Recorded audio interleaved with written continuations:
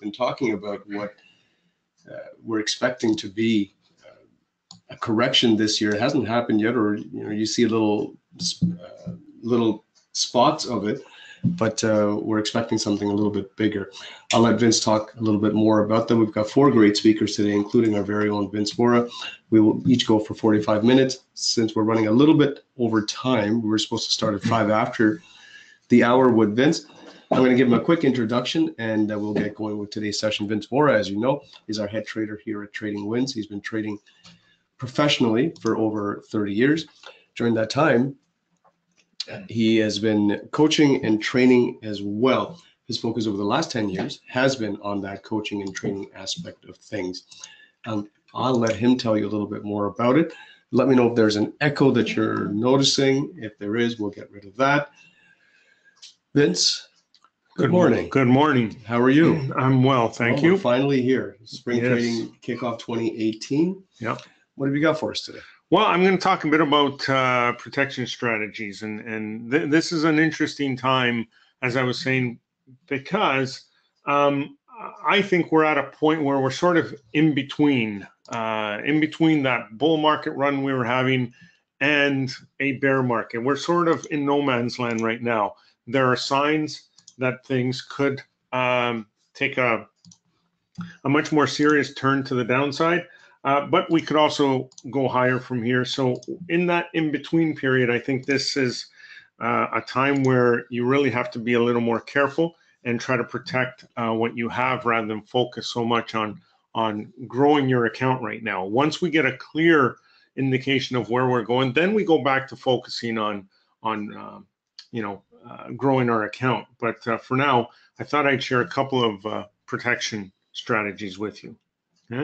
So, uh, as Raul was saying, I am Vince Vora. I'm the head trader here at Trading Wins. For those of you joining us for the first time, welcome.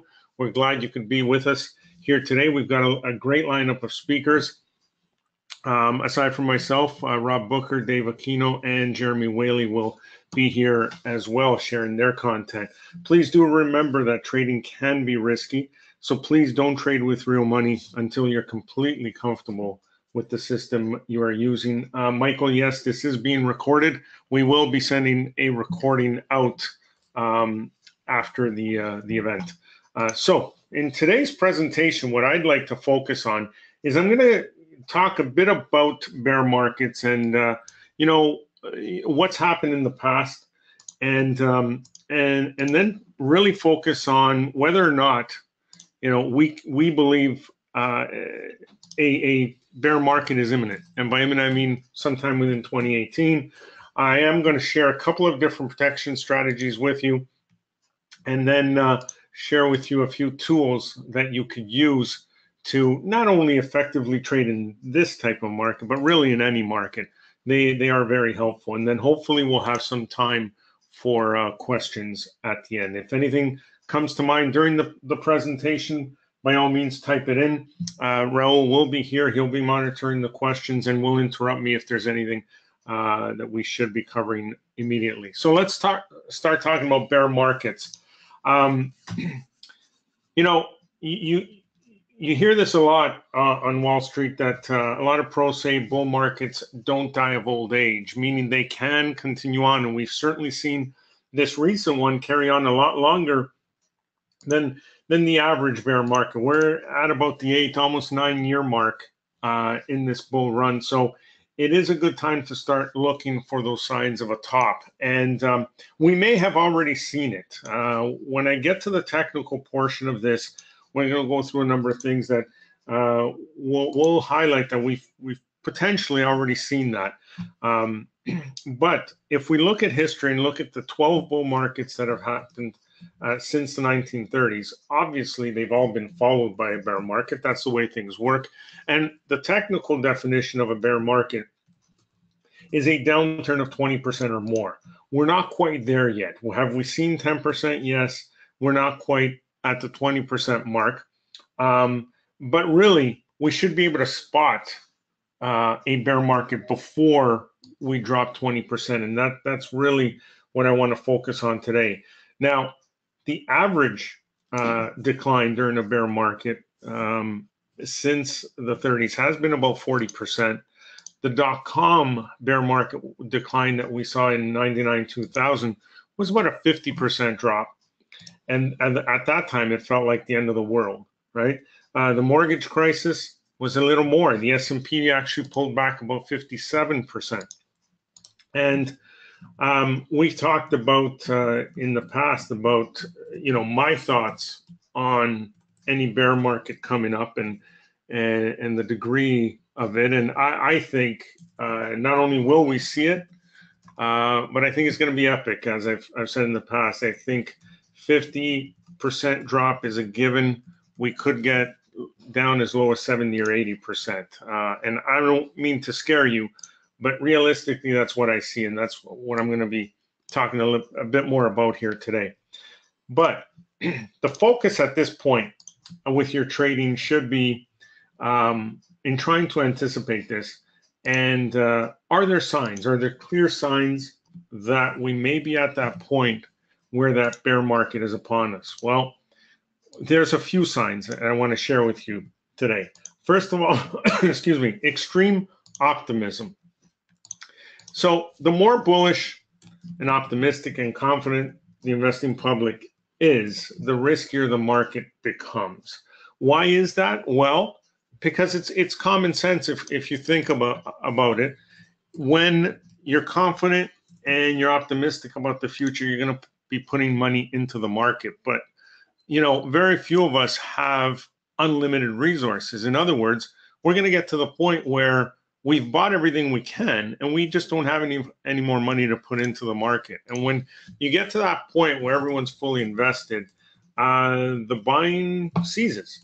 And and that's when we start putting in the top. Now what are the true signs of extreme optimism? Well there's a few you could look for bullish headlines in the news such as what we've seen recently in barron's there was a barron's cover story uh, where the title was next stop dow 30000 Usually that that obviously is a, a sign of extreme optimism.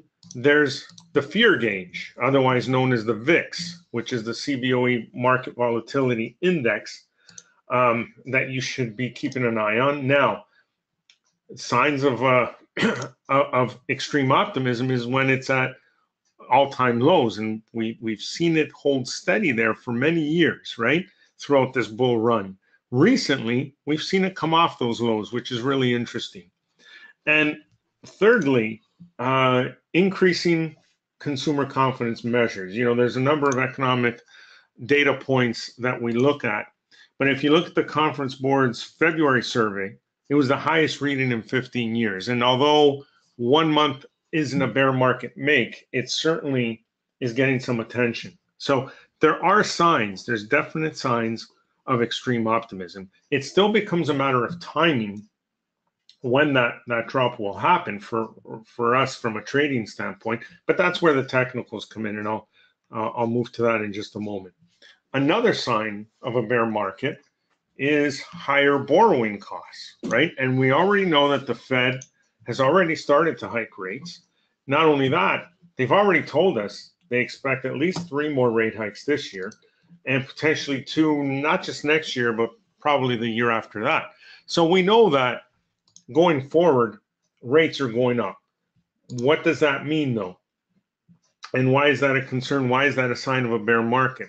Well, because when higher rates go up, when rates go up, it slows down the economy, right? It it, it makes uh, the the business environment a little more difficult. In other words, companies struggle to um, to increase profits during that time, which usually results in lower stock prices, right?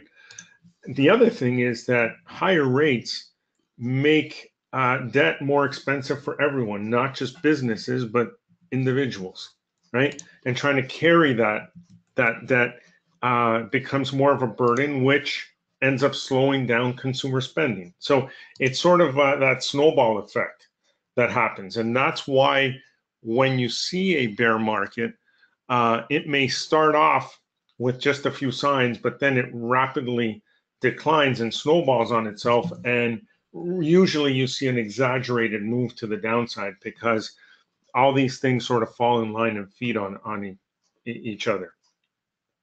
Another sign of a bear market is the increased risk of a recession. And the reason why I'm saying increased risk of a recession, not a sign of a recession, is because the markets, the equity markets, are a forward looking indicator. In other words, you're going to see stocks pull back and drop way before you're going to hear that we're actually in a recession. And we may have already started to see that right now. As you know, since February, the markets have been uh, pulling back. and so that, that may actually be the point where we're at. Now, the actual sign of a recession, or, or what leads us to believe that there is an increased risk of a recession, is a slowdown in either the manufacturing or the services sectors, or, or both. And this is where I think that the, all this talk about a, a potential trade war can really have a significant impact because if if it, it this does turn into a trade war, then the manufacturing sector and the service sectors are going to take a major hit, and that will lead us into that recession. That's my belief. Um, why are are recessions bad? Well, because they cause job losses, right? Uh, slow down in consumer spending and lower corporate profits. Again, that that snowball effect, where it becomes more and more difficult, not only for for companies but individuals. Okay. Another sign of a bear market is when you see the same group of stocks that have led the bull market higher suddenly start rolling over and start pulling back. And we've seen that with the likes of Facebook, Google, Apple, Nvidia, Boeing is a great example, right? All of these helped us, the, the tech sector, uh, drive this bull market higher. Uh, all you need to do is look at a, a chart of the NASDAQ to understand that. But now, now we're starting to see a slightly different picture. And I'll, I'll show you this when we bring up the charts in just a moment. And lastly, another sign of a bear market is what we call market breadth. Now, market breadth is a, a technical uh, term uh, where what we try to do, do is uh, gauge the direction of the overall market by looking at the number of companies that are advancing compared to the number that are declining. And a great measure for this is using the 52 week lows and highs. So, whenever you have an environment where there are more 52 week lows happening on a daily basis than 52 week highs, that's a very, very reliable indicator of an upcoming bear market. Now, just to put in perspective, the last couple of days on the NYSE, if you look at Thursday's totals, new 52 week highs were 25, new 52 week lows, there were 128. Yesterday, this Friday, new 52 week highs were 16, new 52 week lows were 215. Now, yes, those were two strong down days. We dropped about 725 points on Thursday, a little over 400 on Friday. But really, if you go back and look at the market breadth, since about the 13th of March, um, the middle of the month, uh, we've really seen a consistent trend of many more uh, 52 week lows compared to 52 week highs. Okay, so that that really it has become a trend now, and that's something to think about.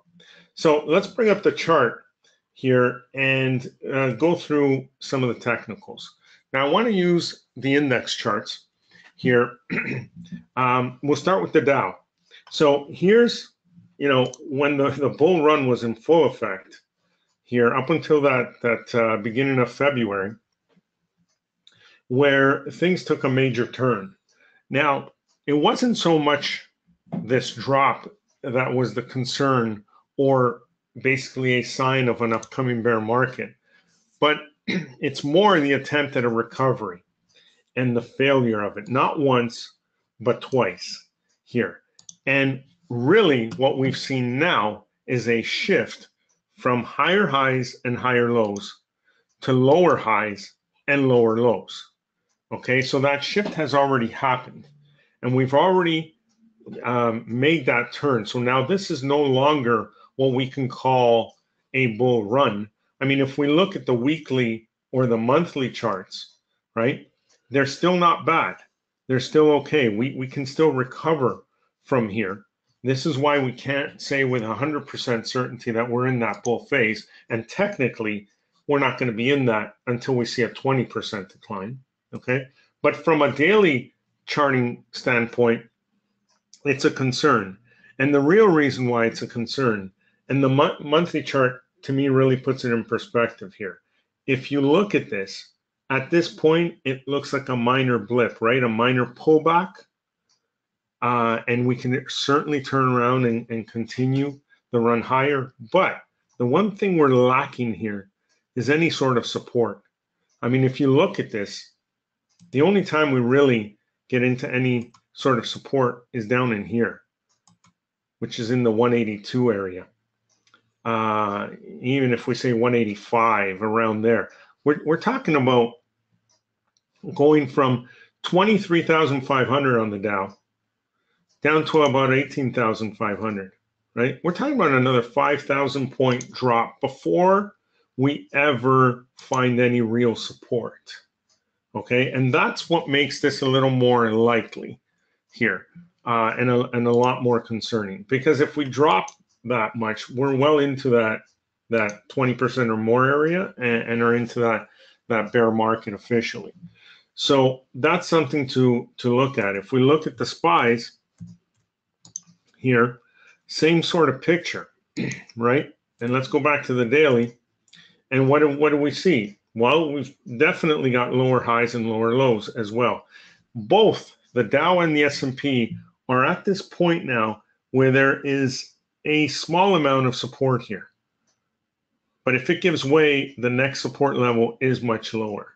Okay, so there's a real potential here. So what are two things that you can do to help protect yourself? Because like I said, in this environment, we're at that point where we're not in a runaway runaway down trend here where we could say any pullback is a shorting opportunity and we're just going to look for proper short setups going forward.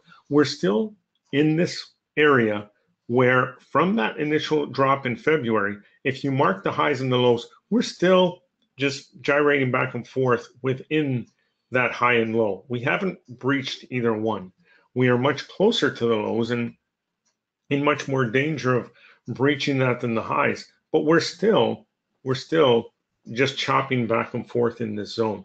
So this is the time where I think a couple of things you can do to protect yourself are one, certainly scale back, not only on the number of orders you place, but but the size of your orders. Because this again is a time where you want to preserve capital more than you want to look at at how much profit you can make.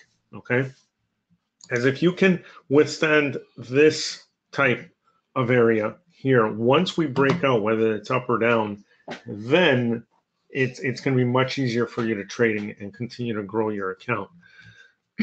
so um, scaling back is one one thing. The other thing you can do is really manage your stops properly. And normally, what we would say on any trade is to use the most recent pivot low as an, as an area for your, your stops for a long trade or the recent pivot highs for a short trade. You might want to tighten that up a little. Okay. Um, so what, excuse me, one of the things you can do is switch to a, um, a two bar trailing stop, for example. Okay. Now, in some cases, if the bars are very wide, that's going to be a little more difficult. That's still going to offer too much risk.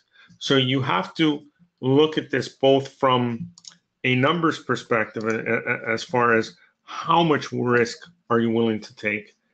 You know, how much pain can you withstand on that particular trade and mark that area and put your stop there. Or um, use something like a two bar trailing stop because in environments like this where you have much bigger bars much more volatility putting your stop above or below the most recent pivot is usually going to be much farther away so you really really want to tighten up your stops and the other thing you want to do is use the basics of technical analysis to really really find those areas where there may be support or resistance uh, so that you know what the, the important thresholds are uh, where this thing can either bounce and recover or run away on us. And, and we're at one of those points right now here on the SPYs. Uh, same with the Dow. So these lows in February are absolutely critical. But if we give way here, where we are now, this area of congestion right in here, if we drop below these lows here, and what, what you can do to draw it a little more effectively is take the, the low end of that congestion area, right around there, which comes in right around 255 here on the SPYs, right? If we break through that, there's no way this low is going to hold. I mean, realistically, it's not a, a strong area of support. So if we break through here, chances are very high that we are coming down to the next level of support, which comes down in here around 245 area. Okay. So having or using these tools of drawing these trend lines uh, to identify what your areas of support and resistance may be, okay, are are much more important now than they would in any any other um, market environment. Okay, and um, if you're trying to take advantage of this, so for example, if this on Monday drives below this this area of of uh, support here, okay, and now we we think pretty logically that it, it's going to come down to around 245 here. So we're going to take a short on this. You know, you can put your stop, excuse me, right on the other side of that of that support zone, right, right on along the other side of that trend line, right. Uh, that way, if it does a quick turn on you, it's a very very small loss, right. So you've really have to tighten things up here. Overall, that should be your goal your theme is to be a little more conservative than usual, to do whatever you can to protect your capital. And once this either breaks down or moves on to new highs, then we can revert back to our usual activity level of activity, our usual sizing that we use, all our usual basic money management plan and trading plan. At this point, we've got to be a little more focused on protecting ourselves. Now, another way to protect yourself is to just try to find the best of the best stocks to trade with. Because in any market environment, there are going to be stocks that perform extremely well, even though the market's pulling back, or are extremely weak, even though the market's going higher. And as I always tell my members, um, if you're going to have, say, a portfolio of 10 positions, you don't want all 10 in one direction. Because at some point there's either going to be a minor pullback or uh, something like this happens where it's a little more significant. But you always want about eight stocks, say during this bull run that we had, you know, throughout here, you should have had eight positions to the long side, but at least two uh, of weaker stocks to, to the uh, bottom. That way, when you get a turn like this, you may get stopped out of most of your long positions, but your your couple of shorts will will uh, balance things out, okay, and make up a qu quite a bit of that loss you saw in the uh, longer positions. So here, when the market's dropping, you want to look for strength, okay, and there are there are still pockets of strength out there, and we've talked about stocks like Amazon and so on that continue to roll but no matter what, there are charts out there. Now, this is the tactical trader platform, and in in here there are a couple of tools you can use uh, to also help you not only with your protection strategies like the stops, and I'll, I'll give you an indicator that they just added that you can use for that, but also to find some, very very strong candidates to trade. And one of the tools you can use is the seasonality tool that they have here. Seasonality will give you uh, sort of a forward look uh, to in, in order to find stocks that tend to do well in one particular month or another. Okay, so for example, um, let me let me switch. Let's go to Amazon here for a second and switch to the seasonality tab and just show you what we're looking at here. So every, every bar is a is a different month. And in, in this case, we're going back to the year 2000, right?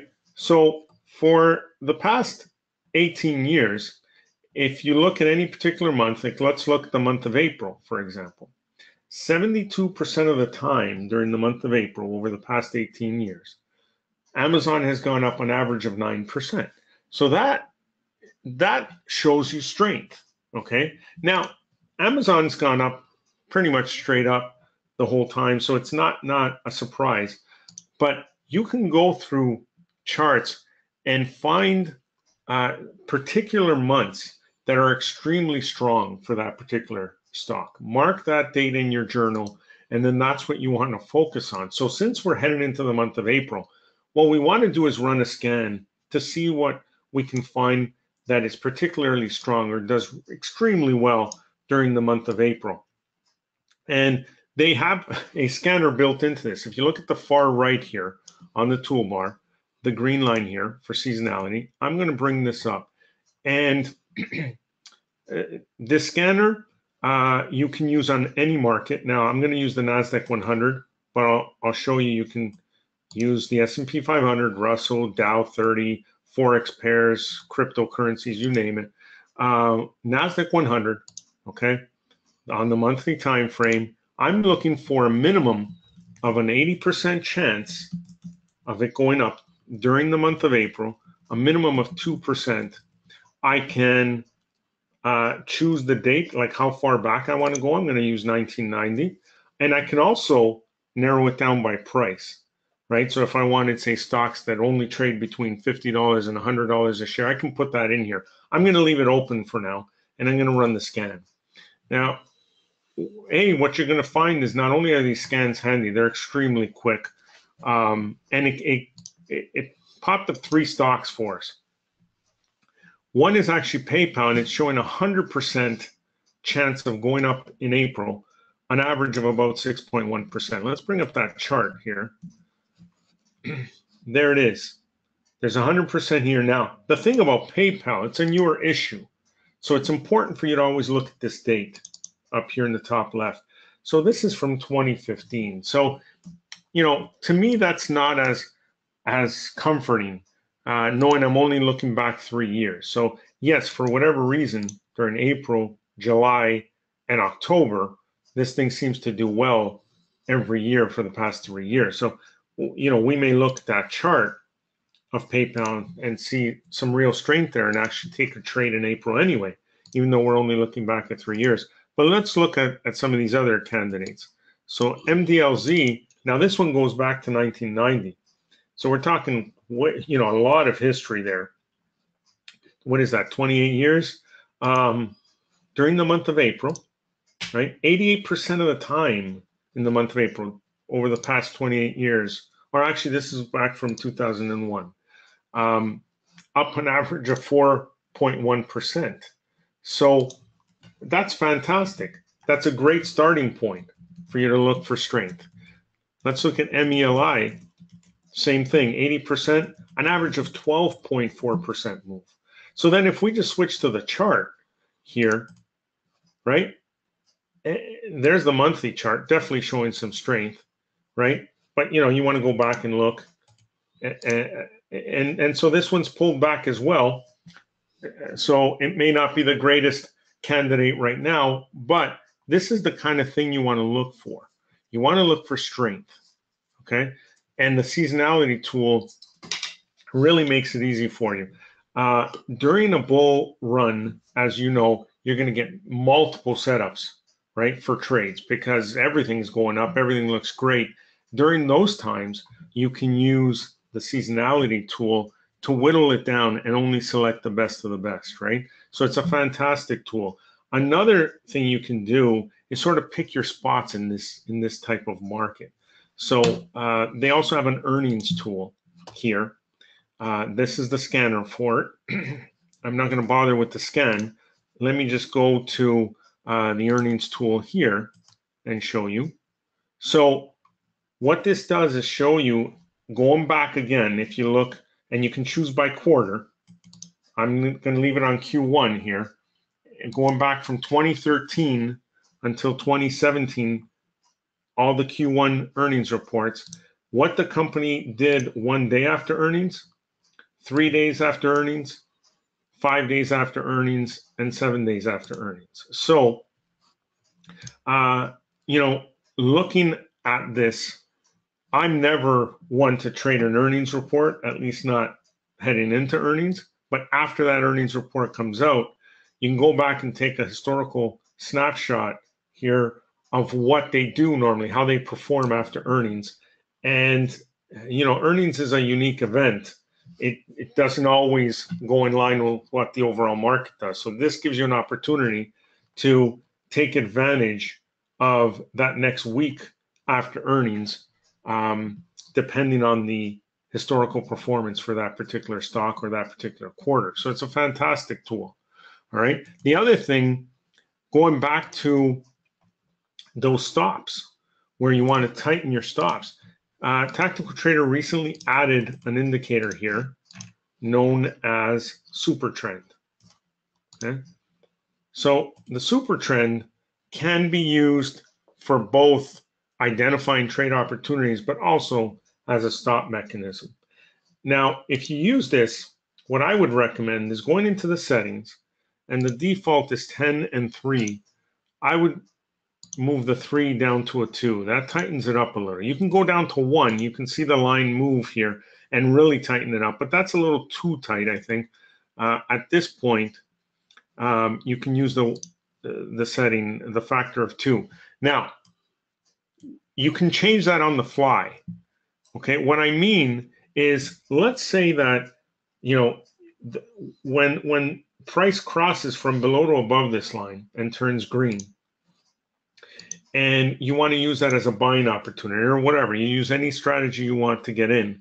Once it takes off and makes a sizable move, if you want to tighten your stop even more as as that move continues, you can just go into the settings and reduce it to one and tighten it up even more. Okay. Totally up to you. It's a personal preference, but I like leaving the length at 10 and the factor at two. And it, it seems to do a very nice job of keeping you in that run when there is a run, but getting you out fairly quickly when it turns on you. Okay. So those are, are a, a, a few tools that you can use. So again, this is the time a, a type of market environment where you really should focus on protecting what you have more than looking for big opportunities uh, ahead. And so, um, with that, what we've done is we've put together a couple of uh, packages for you here. If you go to tradingwins.com forward slash spring, that'll get you to this page. And I'm actually going to just bring on Raul again and he's going to walk you through what uh, what what this entails. Right? Vince, you took away my bit of my thunder when I was going to say this is the market where you should be protecting yourself first. Yes. Before looking for growth. Um, what I did want to mention is we have a live training course coming up. Vince, you talked about uh, two protection strategies, scaling back as well as the two bar trailing stop. You're going to share four more mm-hmm. during that course next Saturday, exactly a week from today. Right. Uh, you're going to learn how to use hedge products like the VIX, VXX, uh, married puts. You've been big on married puts now for quite a while. Yeah. Uh, you're also going to get 30 days of mentorship by Vince Vora, nightly videos with uh, trade ideas. Again, all in that same uh, spirit of mm-hmm. making sure that your account is protected first, growth second. I think if you take care of that first part, the growth will happen on its own. Right. And, and you know, we're going to get to that point where the market's trending strongly in one direction and, you know, volatility settles down and it just gets easier and easier. Uh, we offer a 30 day, no questions asked, money back guarantee. I wanted to do 29. Vince said, no, let's do 30. so we, I, I, I, conceded on that. The package on the right, uh, because we're both movie buffs, we call it a double feature. You're going to get all of what I mentioned on the left, as well as the tactical trader platform that you noticed uh, that Vince was demoing just a couple of minutes ago, including the seasonality tools, including the earnings scanner, all of that you'll get for a month as well. And that's just for an additional $7. Again, same thing, uh, 30 day, no questions asked, money back guarantee. Before you ask, a lot of people say, when I get a new charting platform, do I have to pay for data? In this case, you don't. Real time data is included at no charge. Uh, there's no software that you need to upload. You can use this from a PC. I believe it's uh, compatible with an iPad as well. Um, a lot of people that have tried it from our service uh, have said a lot of positive things about it. So I think you'll really enjoy it. Tradingwins.com slash spring. Um, get it now. Either of the packages, left or right. Live training coming up on Saturday. Vince, you're looking at the screen and smiling. No, I'm, I'm just seeing a number of questions. Yeah, Okay. and good questions that I'd like to get to. Yeah. I thought you were going to ask me questions. All right, let me get to the questions. Uh, if you have All right. questions about the about either of the offers, you can put them in the chat box. I'll um, answer those, and Vince, I'll get you to answer the more technical questions. Sure. Jose was saying Vince using a line chart to support would be best to recognize if a hold or breaks instead of candlesticks because sometimes it's hard to read support or resistance. Yeah, correct? absolutely. It's great. I mean, we, we've used it in a lot of our market chats that we have with our members and so on. We've talked about several ways to use that, and it's absolutely important, uh, very, very important.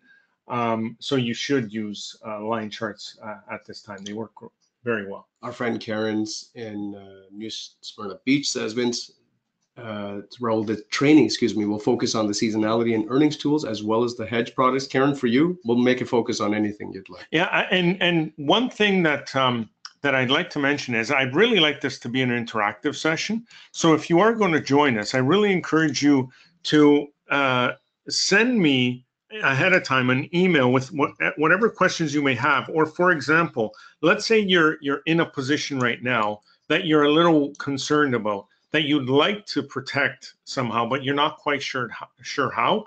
Send me the details, and uh, I'll, I can run through that example with the whole group. I think it would be a big benefit for everyone.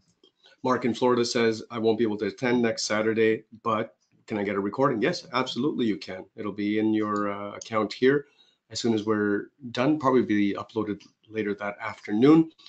Vince, what else do we need to know about uh, seasonality before we leave? Um, seasonality is uh, um, something that's not used in, enough. Uh, it really should be used a lot more. Um, it's very reliable, and um, uh, having the ability to scan f- for these uh, stats and knowing ahead of time is fantastic because uh, you know as a technician what you want to do is find that right spot on the chart to enter depending on your own strategy so knowing that in april you know the stats are what they are it, you can start looking a couple weeks ahead of time and find that opportunity to get in on the stock that you really want so um, it, it really is helpful Okay, 10 seconds. Feet to the fire. 10% correction in the Dow this year? oh i Yes think no? it's a lot more than that All right. sorry i i don't want to be uh you know the the the spoiler here but i i think we're in for a significant drop Can you recommend some good mattresses for people to store their money? On that note, that's um, Vince's presentation, tradingwins.com slash spring. Uh, we will mention that again later in the show. We're going to move on next to our friend Dave Aquino. Dave, um, I'm going to give you the presenter controls in just a second while I tee up your intro by Vince. So just give me a moment to do that. Thank you.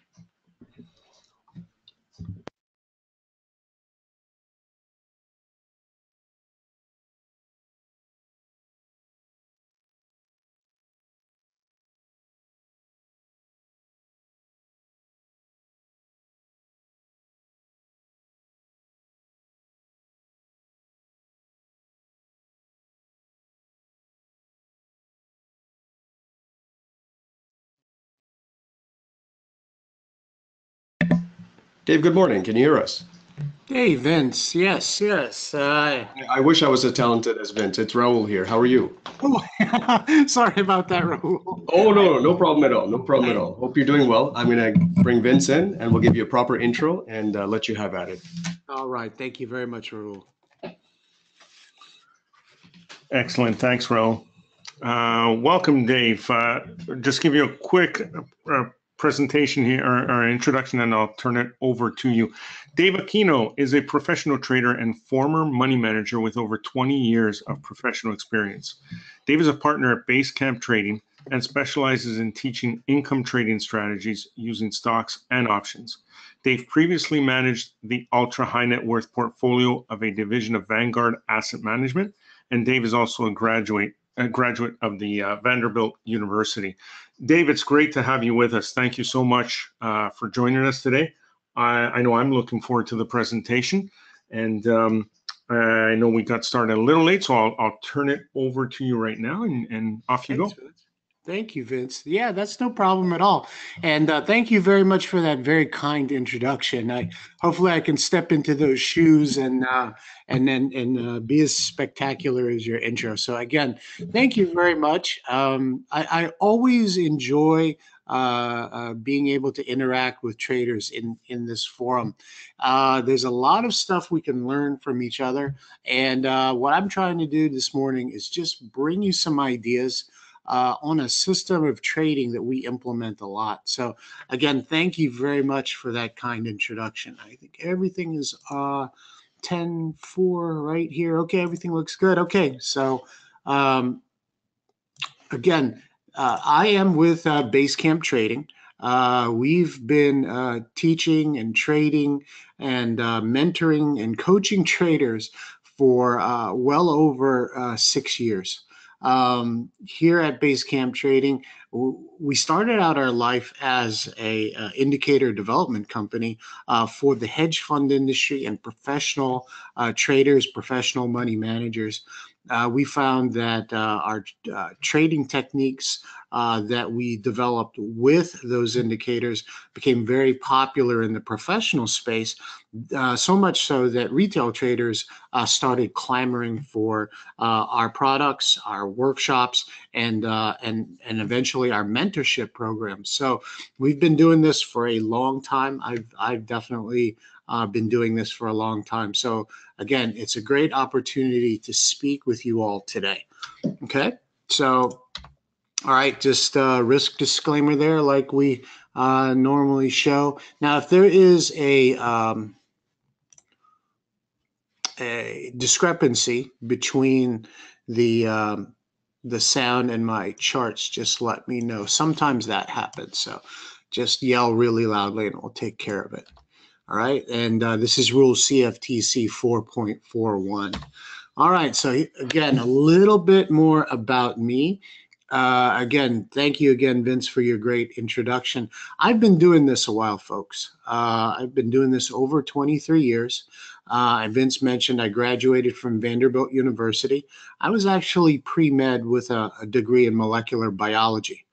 And um, I decided to kind of cut to the chase when I saw where medical uh, and managed care was going. And I decided to just go where the money is. And um, I, I, joined Merrill Lynch as a general securities uh, broker. And uh, four years into their training development program, I learned a whole lot about stocks, bonds, options, and, and just investment in general.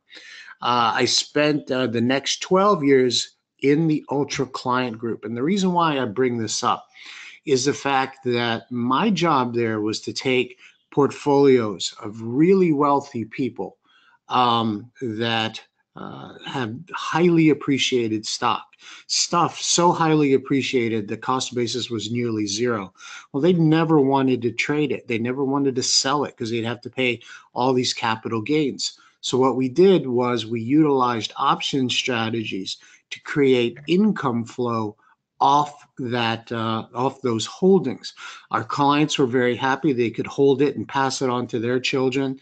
Um, and because uh, you because you never wanted to be the one to sell the AT and T stock or the General Electric stock, but you wanted to make sure you can uh, uh have an income from that uh, here at Basecamp Trading, I've taken those ideas and uh, the, the options income strategy that I'm going to share with you today uh, is going to be a part of what we talk about.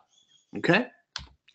All right. So again, I've been doing this a while and I've interacted with so many levels of traders. So, one question a lot of people ask is, how can I get to that level of trading? That guy or that gal is a professional. They can make their money in the markets pretty much at any time.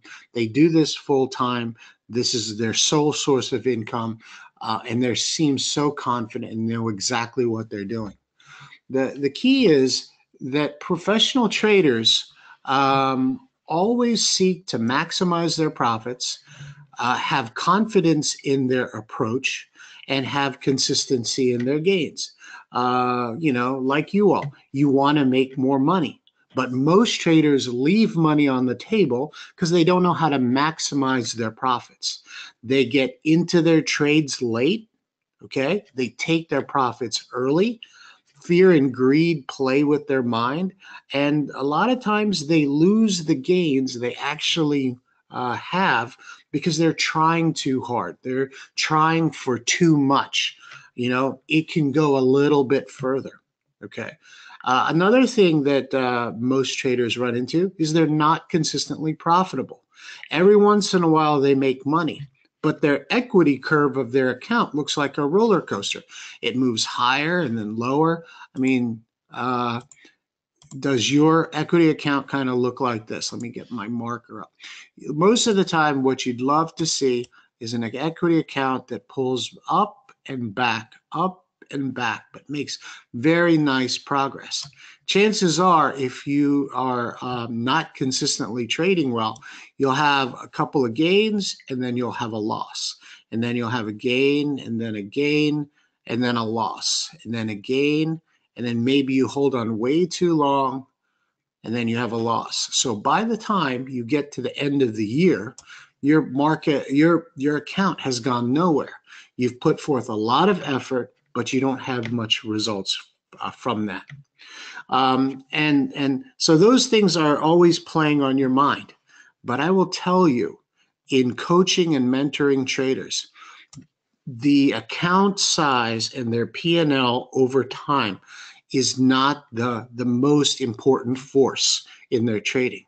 Their most important aspect that gives them the most trouble and helps them in the most difficult times is their confidence. Is fear your trading partner? Okay. Do you see the setups that you're supposed to trade? You understand probability. But the fact is, you're scared to trade when you are supposed to. You you uh, enter late because of you your hesitancy. Okay, you exit late. You hold on to losers too long. And then when you find your account kind of lagging, now you're trying to catch up and try to, to hit that home run when you need to. And the fact is, you don't have the confidence to do that. And that is probably the hardest thing to overcome uh, in order to become a pro trader. Okay. So, again, why is trading for a living so hard? I'm uh, I'm sure a lot of you are here today because either you are you are giving trading a go, whether it's to bring in extra income, to uh, find a way to leave the rat race, to leave the profession you're in, or maybe you're a retiree and you're trying to um, have a way to replace the income um, you're you, you're lacking and not having to to work uh, another kind of job, maybe a retail job or a service job. Okay, why is trading for a living so difficult? Well, first of all, it's the markets. Okay, if you uh, have been watching the markets in the past couple of days, you've seen kind of the panicked reaction to some news events uh, that could potentially have longer term consequences, like a trade war with China. Okay. So 90% of the market trades in one direction, and that is a bullish direction. So anytime there is a bear market or a pullback or the fear of that, uh, the, the, it's people get paralyzed and they don't know what to do. Okay. Uh, everybody enjoys a bull market. So if the market is going up, everybody seems pretty happy. But as a trader, sometimes you're in when you're supposed to be out and out when you're supposed to be in because, you know, it's got to pull back once in a while. um, and your trading is inconsistent even in a bullish market. And then the worst for most retail traders are sideways markets. Okay, this is when markets are moving basically non directionally. They're very inconsistent, they're choppy, and it's really a great place to lose money. So that's one reason why trading is difficult. How about timing? If I asked you right now, uh, what is your favorite time frame? Okay, would you be able to tell me? A lot of you will give me the answer I'm a swing trader. Okay, do you have consistent trade setups that you implement on a regular basis for swing trading? Probably not. How about you give your give your give yourself a chance to to day trade, to intraday trade? What what's holding you back there? Profits uh, are, are too small. Okay, the market moves too fast in a one, two, three minute time frame. The market's choppy. It starts to break out, then it pulls back, and then I'm trading a reversal, and then it breaks out.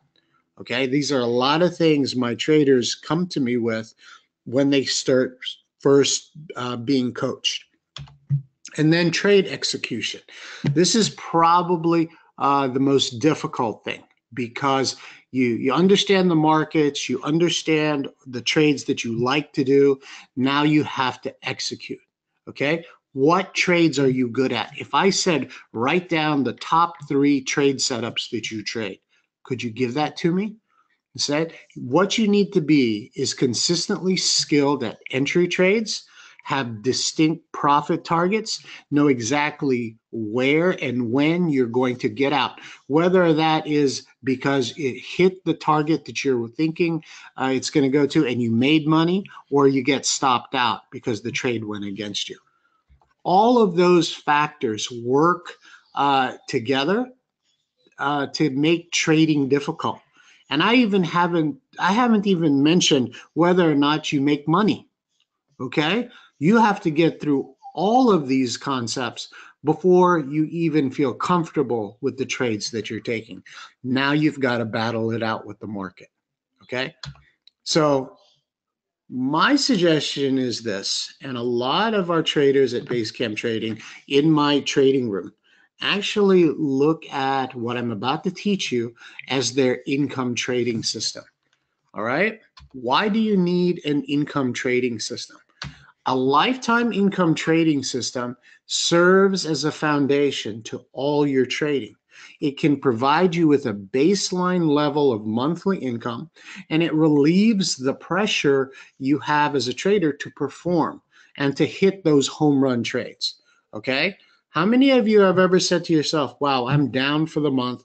I really have to find a couple of trades that can save and salvage my month? Okay. I know you have. That's what you're looking for because when you feel that you have made progress in your trading, you feel some relief.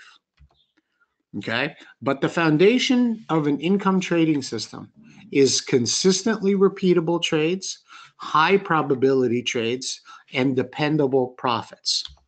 Okay. The fact is, you also have to have a system that works, something that's proven in many markets, in both trending either bullish trending or bearish trending or sideways markets where it's a lot more difficult to eke out a regular consistent income. All right? You have to be able to depend on this trading system in a in a very reliable way because you have to make money. You also have to know how much you can generate within a given time period. It's like when you go to work right now and you say, I'm going to mm, uh, go to work every day this week like I'm supposed to, you know about how much you're going to bring home, right? Every two weeks, when you get that paycheck, you look and you said, That's what I thought I was supposed to get. You check your hours and your pay, and you, yeah, that's correct. How much can you generate on a regular basis from your trading? Do you know? Can you put a number down? Okay. Also, are you really trying to hit home runs every time you trade? Because reward and risk in the markets are always balanced. The fact is, your income trading system trades should be the smallest risk that you do and give you the highest probability of success. The fact is, when you're doing this for a living as a professional, when you're doing this as a retiree to replace the income that you're you're no longer getting from a job, okay, this should be your highest confidence trading system.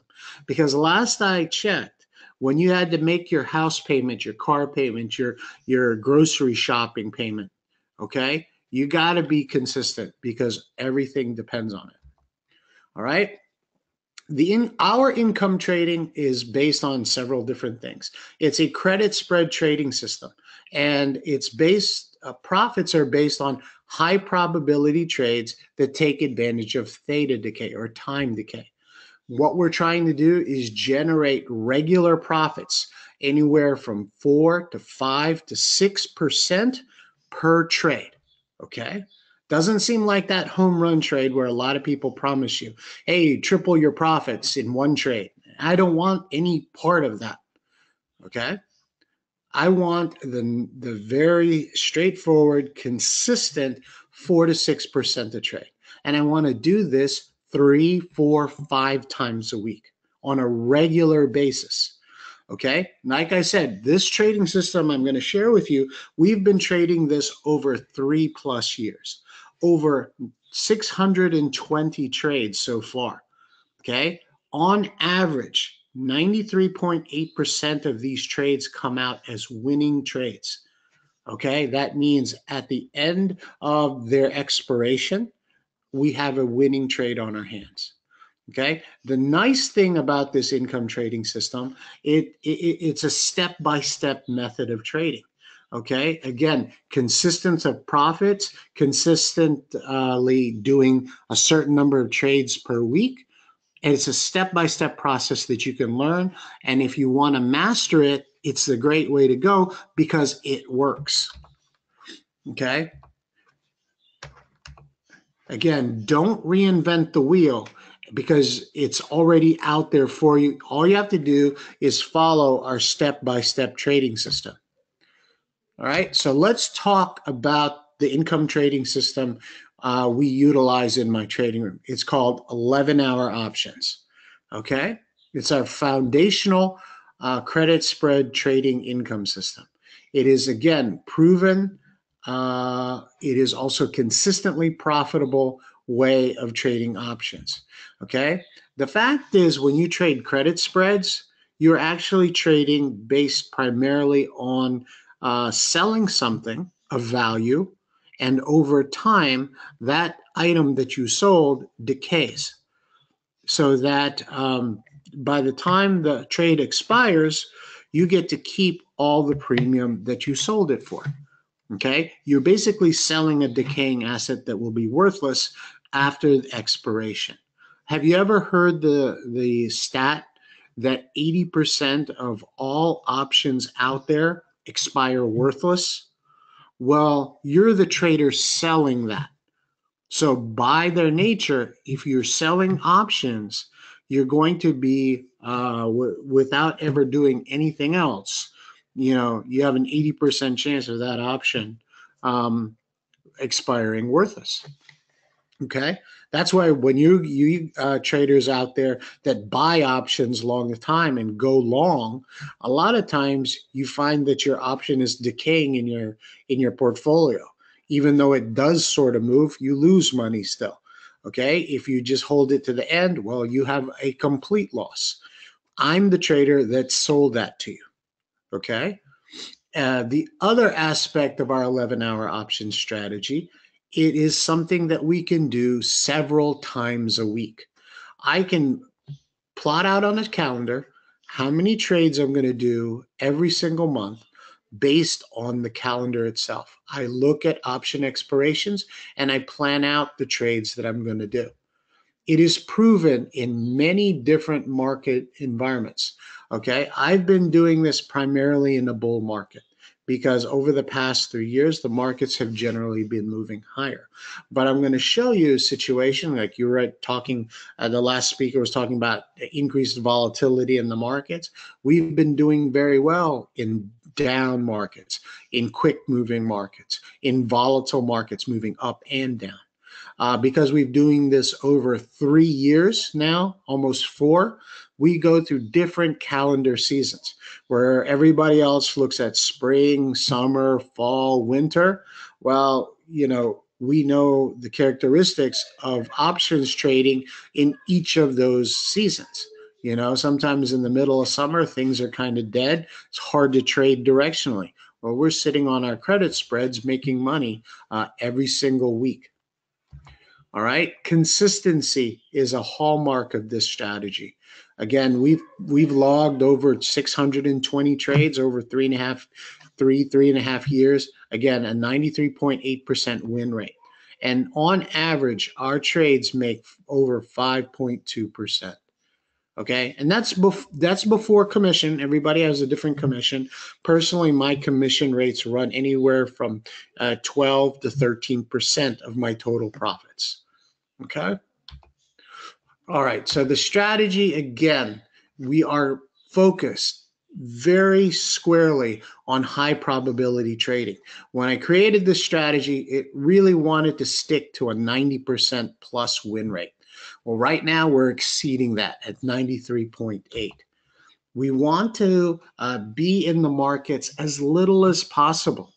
Okay you know the how the weather how the weather in the market looks on monday completely can be different by thursday right? We we could be very bullish on monday. By thursday we're in a trade war with china. So what we're trying to do is keep our time frames short and be exposed to the market only about a third of the time. So we go into a trade usually by noon on thursday and it expires at maximum profit usually by close of business on Friday. Okay, we take these trades and evaluate their uh, whether or not we're going to do them based on the 60 minute chart. And what we are evaluating is price momentum, support and resistance levels, uh, whether they be off the daily chart or whether it be off the hourly chart.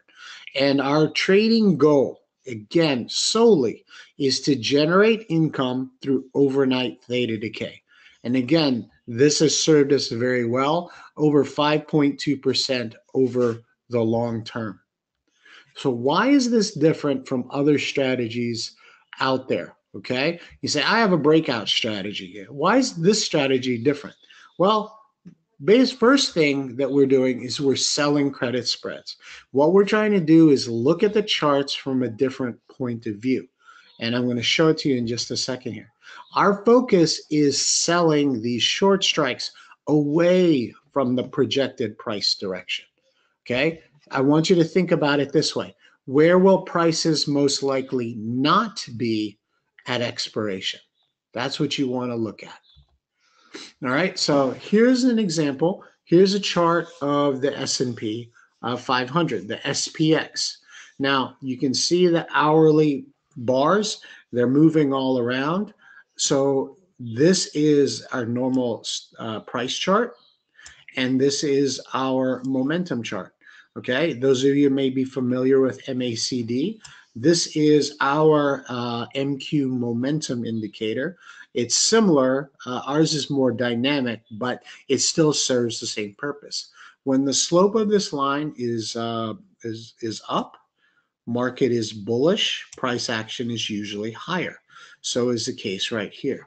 So as price comes down, makes a reversal and comes back up, if in this process we see that pivot, we see momentum is going higher, we have to think to ourselves, where will price be in the next 11 bars? So after we make the pivot, we can sell at a price level down here. Okay, we can structure a bullish put credit spread that takes advantage of this bullish price action. And if if this if this strike is right at this price level, okay, after 11 bars, these options expire worthless. We get to keep all this money. Okay, does that make sense? What we're doing is playing a gigantic game of keep away. We have the ball, we're down here. We want price to run away from us. We check momentum, we check support and resistance, and we take the trade when the when the timing is right and price moves away. Here, let me give you another example of another opportunity. you see, we come down, we bounce like I showed you. Price moves higher. What's it do right here? It's a sideways consolidation. And then after that sideways consolidation, we get a continuation move to the upside. See the momentum takes off to the upside? Well, guess what? We're going to use this trading opportunity to sell a credit spread down here. Okay, at this strike level, it move price moves higher. So we feel pretty comfortable. Price is moving higher. Say, what, Dave, what happens if it comes down and it heads towards our short strike? Well, guess what? This channel right here actually creates two horizontal price levels that act as price supports. Okay, price could come down, hit that level, and bounce because that's the level we broke out from. This area that was resistance is now support, so it bounces up. If it breaks through the first level, it could come down, hit that level, and then bounce up again. But in order to do that, it actually has to reverse this momentum, basically 180 degrees and come down. Does that make sense? The next level, the next example here, again, this is kind of just, we're just following the trend. So let me erase this chart. What do you get here? Anybody know? This is a bearish divergence. Okay, difference in momentum, double top. A lot of people call it a double top. Price comes down. Well, guess what? We can sell a credit spread up here when price starts moving. We don't even have to guess. We can even let it start to move. Then we sell premium up here. And as price comes down, guess what? It hits that same channel, takes off to the downside, sell another credit spread right here. Okay, hits another channel, price takes down, guess what? Sell another credit spread right here. Does that make sense? Do you all follow? What we're doing is taking advantage of price momentum and um, and support and resistance levels, selling premium in terms of a credit spread, and allowing that thing to expire at maximum profit at the close. Okay, that's again the cons most consistent way we find the trade because it works to our advantage and uh, price moves very, very well. The, the one question that a lot of people ask me is with this strategy, why does it, why do you have such a high probability of success? Well, the first thing is we, we take advantage of time decay, okay? Because we are selling options, selling premium. Anytime time passes, we win, you know, we're winning it the people that we sell to, people that buy options, actually have to get the timing right as well as the direction right. And the speed at which it moves is important. If it moves now, this is what you have to see. If it moves next week, well, it's too late. Options already expired. Okay. We have to be consistent. Okay. We have a very good history of these trades and we're trying to win as often as possible and um, make progress. And here we are with a reasonable reward risk. Okay, a lot of you look at that and say, that's really small. Okay, I, I really want to make 30, 40% per trade. Well, a lot of times you have to because you don't win very often. Maybe you win half the time. So you're always playing a game of catch up. I want you to imagine this with this kind of win rate, okay, in order to make forward progress. A lot of people say, you know, two steps forward, one step back. Well, that that's a really choppy way of making forward progress, right? How about three steps forward and one step back? That's pretty good. How about five steps forward and one step back? Even better at a win rate of 93.8%, you can take 14 steps forward and a one step back. All right. And that one step back we actually have very good risk control. If we are trying to make $100 per trade, we're willing to take in a loss of 200 to $300. Okay, we can do that because that that one step back can't possibly outweigh the forward progress we get with the 14 wins going forward. So over time, we're going to do extremely well. Okay, I want to show you some bottom line results here because I'm, I'm watching my time. And um, uh, like I said, we've had a lot of success. Our traders have a lot of success. So I want to share with you this story. It's about one of our traders. His name is Jim. I almost gave you his last name. He is from Tyler, Texas. He's been uh, trading with us at Basecamp Trading for over a year. And uh, he actually attended a, a boot camp in Dallas, Texas. We had in October, gosh, sorry, October of 2017. I'm thinking it's 18. 2017. So little over six months ago uh, Jim was there and he said, Dave, I really like this 11 hour option strategy, uh, but uh, I, I want to give you a fair shake. It sounds too good to be true. So I'm going to commit. I'm going to do these trades. I'm going to put down $10,000. I want to see where it takes me.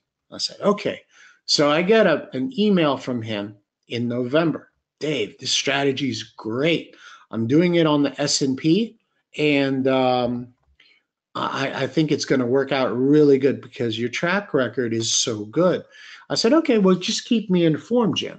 So every uh, the one other thing that I told him was you need to make sure you have balanced reward and risk. Sometimes we're trying for six or seven or eight or nine percent. I said, don't do that because what you're going to do is increase your risk because you're reaching for more profits.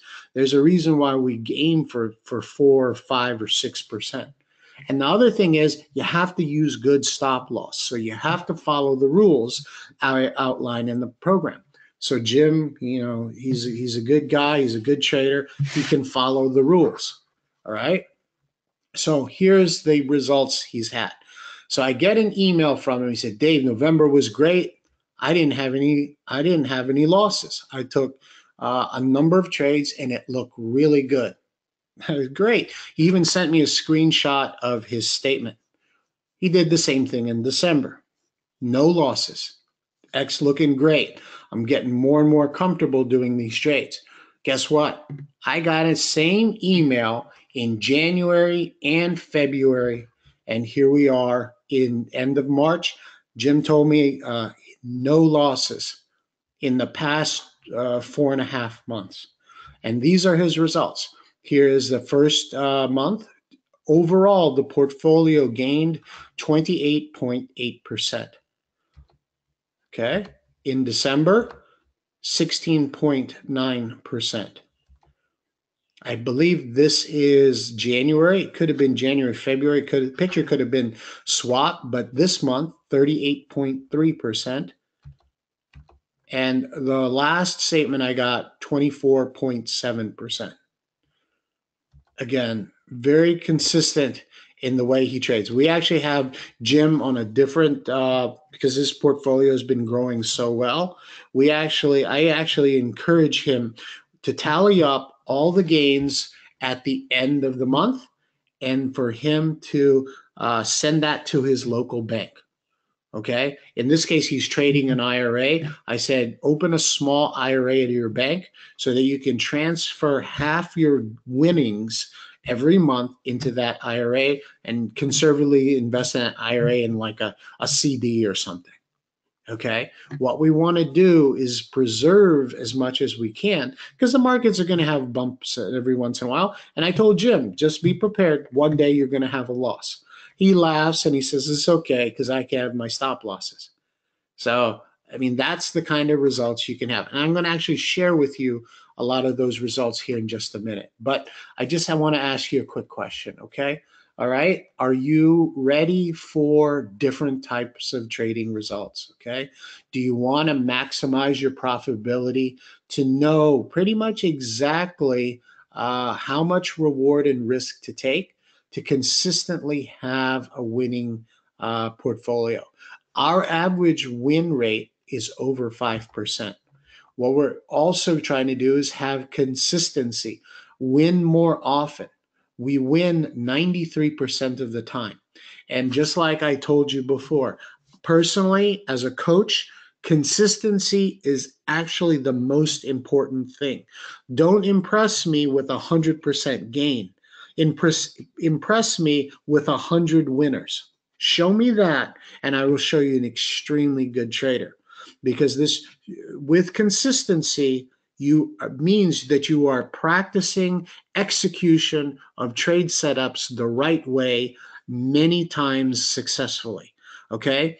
It's like this. If you're a golfer and you're trying to hit a really good drive off the tee all right now if you if you go out there and, and you knock it 20 yards further than anybody else that's kind of impressive if you can do that every time we play golf the entire summer, that is truly impressive. And that will may do more for your game than anything else. Well, so can uh, consistent trading.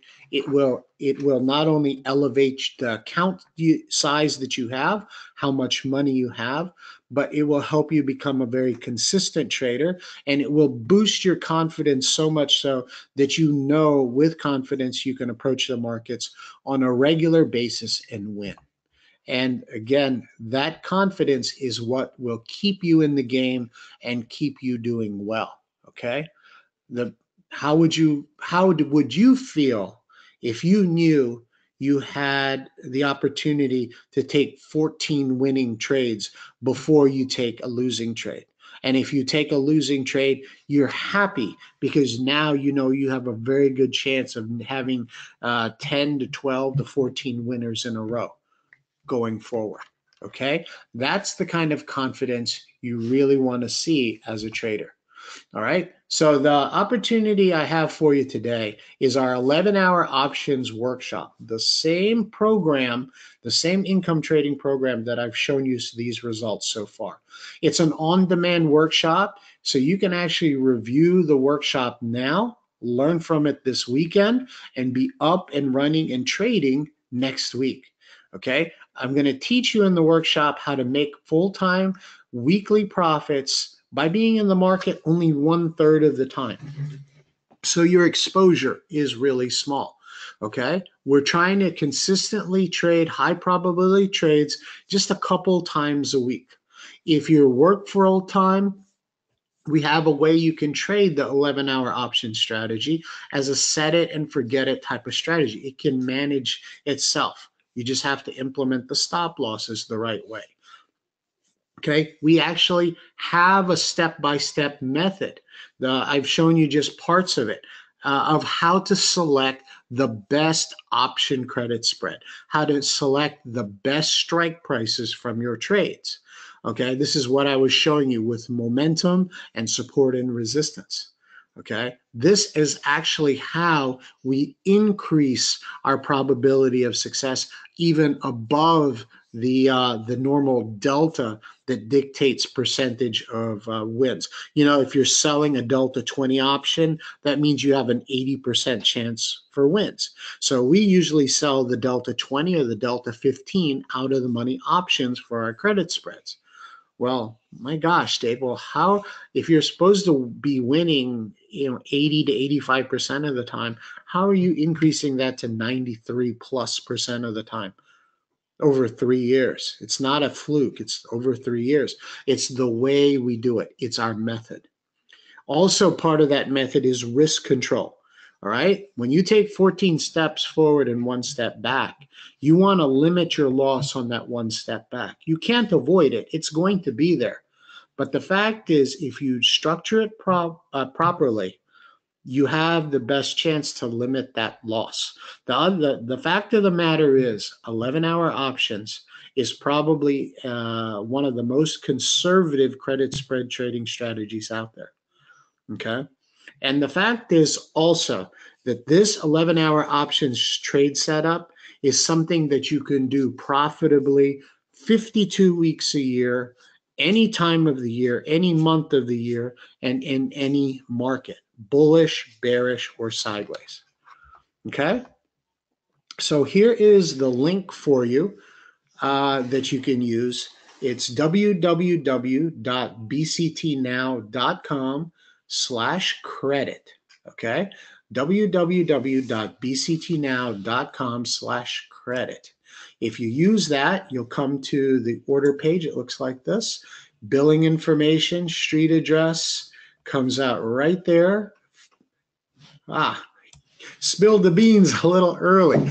The program right there is the price. But this, let me show you what you get. Now, the fact is the 11 hour option strategy retails if you were to buy it off our website for $346. We're also going to put in one month of platinum membership that renews at $97 a month after the first 30 days.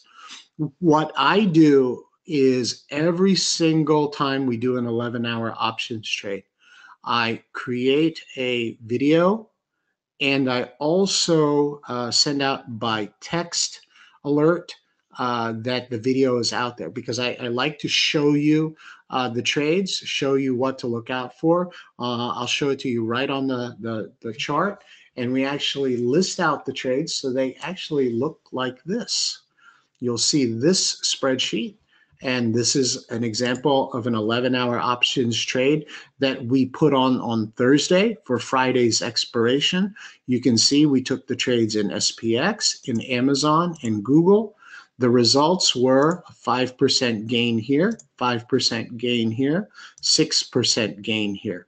The buying power used in this was 10,000, 5,000, and 5,000. So $20,000 uh, we walked uh, away with a profit of, I didn't even do this math, $1,000 with, um, again, $20,000 of buying power. So a little over 5% uh, over the course of 11 hours. That's where we came up with the name. Okay, you can double check that. Those trades are actually very straightforward. All right.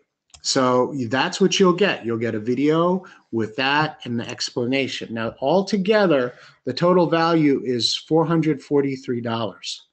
Um, but we're not going to uh, give that to you at $443. We're not going to ask that of you. We think it's such a good opportunity. And uh, again, a lot of traders in a in a down market or sideways market, a volatile market, an uncertain market, they're having a lot of trouble. So we want to give you a great uh, offer for this webinar. $49, almost a 90% discount, folks. Okay. We want to get you on the path of income. You think about it right there. I showed you those trades. I made over a $1,050 just trading uh, 11 hours from Thursday into Friday. Okay. This is $49 you could you could recover $49 in one trade. Okay, so that is our special webinar offer. If you have any trouble, you can contact us at support at basecamptrading.com. But again, the order form is pretty straightforward. It's one page. There it is, billing information. Uh, there's the link. Uh, you fill that out, click 49, and off. You're you're up and running uh, you not only will get the workshop that you can look at it right now this weekend, be up and ready and running on Monday, but the fact is, when you sign up, you're going to get those emails letting you know that our 11 hour option strategy is up and running. So you're probably going to get three to five different trades this week alone. So if you if you t- just make a couple of dollars off each trade, even though your count might be small, you could make a tremendous. You, you could cover yourself on that cost in just just a couple of uh, couple of trades here. Now, with that, I do have a little bit more time, so I want to share with you a couple of more results. Now, you guys are probably going, you know what? That sounds too good to be true. This is actually a compilation of this set of spreadsheets. Okay, this is this is how I show my trading room. Okay, this is how I recorded in the video. So this is how I made it nice and pretty for you. Okay. Now I didn't do three years. This is the same time frame that Jim H was trading. Okay. This is October 1st, 2017 through this Friday. We took 92 trades, 89 winners, and then we had one delta neutral overweight loss. It's, it's a more advanced strategy, but we basically turned a losing trade into a winning trade. And then we took a three times loss. So we're trying to get 100. Uh, I, more importantly, we're trying to get 250. We had a $770 loss. And then we had another one we were trying to get like 250. And I think we had a $120 loss, something like that. But I'm going to show you. Okay, these are absolutely all the trades we've taken in the past six months that are specific for the 11 hour option strategy. Now, here's October 2017. I have 16 out of 16, uh, actually 16, 15 out of 16 winners. And this is that, um, this is the one that we kind of had a loss, so to speak. Um, I lost on the credit spread, but I, I won on the protection. So we walked away from that. I guess that's like $380 of profit. Okay. Trying to get 900 and net, we, we come away with like, you know, $300, $400. And that's fine. That's October 2017. That's my idea of, you know, taking that one step back. Here it is in November. November, we take 13 trades. 13 out of 13 this month. this is right here. This is my um, 11 hour option strategy applied to Black Friday. Black Friday, while you were spending money, I made $2,100. This is December. Okay, uh, we we walked away from December 16 out of 16. There are all of our trades. Okay, some trades are 5%, some trades, this one is 7%. That was a little bit out there. Uh, this is another 7%. This is a 4%. Okay, so on average, this is what we do. Here's January 2018. These are my two losing trades. Same day, same direction, two different stocks. Again, my stop losses worked, $770 loss, uh, $240 loss. Okay, so in January, we took 18 trades, we had 16 winners. And then here's February. February, we have 14 trades. We're 14 and 14. We're, we're batting 100 in February. And here we are in March. We, so far in March, we have 15 trades out of 15 trades. Now you say, well, Dave, you know what? That still could be seasonality. It still could be, you know, luck, whatever. Maybe you're just in a bull market and you're just doing really, really well. I want to show you a chart. Okay. Now remember, February, we're, we're 100% on our trades. March, we're 100% on our trades. Tell me this is not a challenging market to be trading in. Okay. Here's January uh, January 30th. So we had a bearish move to the 200 day simple moving average. We had a bullish bounce, a 618 bounce. And then all the way back, this is March 1st. So this is February. This is March.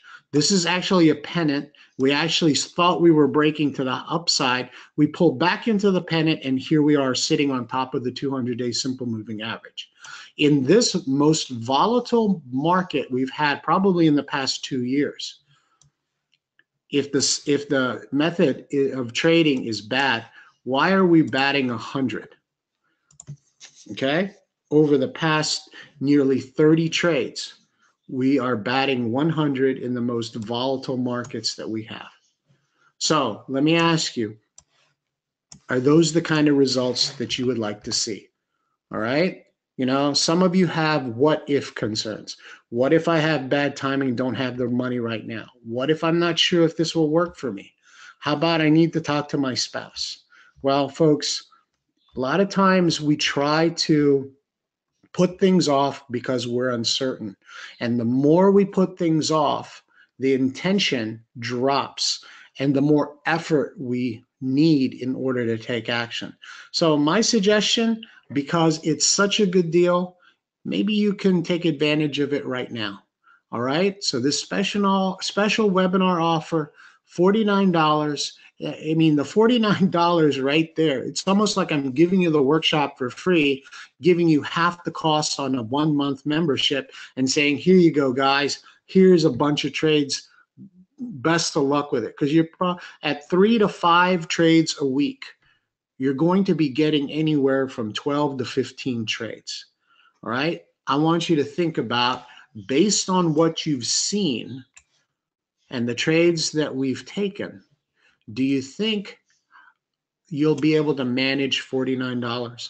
I think it's a great opportunity. So go to www.bctnow.com slash credit and I'll be happy to uh, answer any questions that you have about 11 hour options, whether they be here or our trading room or by email. Um, if you have any questions, just go to support at basecamptrading.com.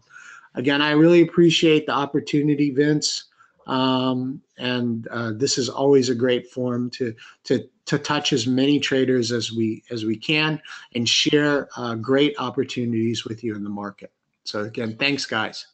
Dave, thank you very much. Uh, great presentation. We have put the offer link in the chat box. Trades, uh, excuse me, bctnow.com slash credit.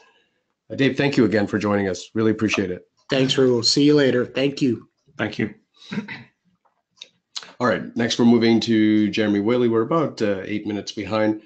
Jeremy, I'm going to give you the panelist, excuse me, the presenter controls, and then we'll give you a proper intro. Let me know when you, I'll let you know when we can see your screen. All right, fantastic. Can you hear me all right? Yes, we can hear you great and see your screen as well. Just give me a moment and I'll get Vince to give you a proper intro. How are you, by the way? I'm doing fantastic. How are you doing? Well, uh, you know what? With that kind of enthusiasm, I'm all, all of a sudden doing better myself. Well, All right, give me a wonderful. moment. Excellent. Okay. So our next speaker is Jeremy Whaley. He is the co-founder and CEO of TradeSmart University. He began trading financial markets in 1999 and spends most of his time, um, most of his active trading in the world of options. Following the financial crisis in 2008, he helped launch TradeSmart University. Since that time, he has helped uh, mentor and train more than 100,000 traders in over 70 countries. When he's not working on a new entrepreneurial adventure, he likes to spend time with his kids, fishing, and working on their lake cabin. Sounds great to me. He lives in Nashville, Tennessee, with his wife and three kids. Jeremy, it's great to have you with us. Thank you so much for uh, for joining us, and uh, I'm really looking forward to uh, your presentation.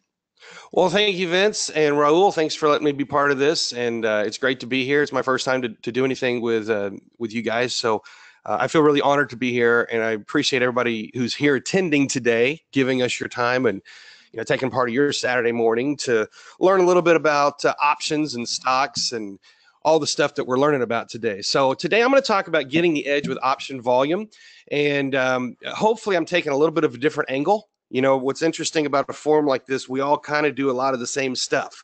You know, we all we all sell options, we all buy options, we all buy and sell stocks, we all look at technical analysis. So, you know, I wanted to show up today and give you guys something that's a little bit different, maybe. And uh, I'm excited to share this. Actually, the here's a full disclosure.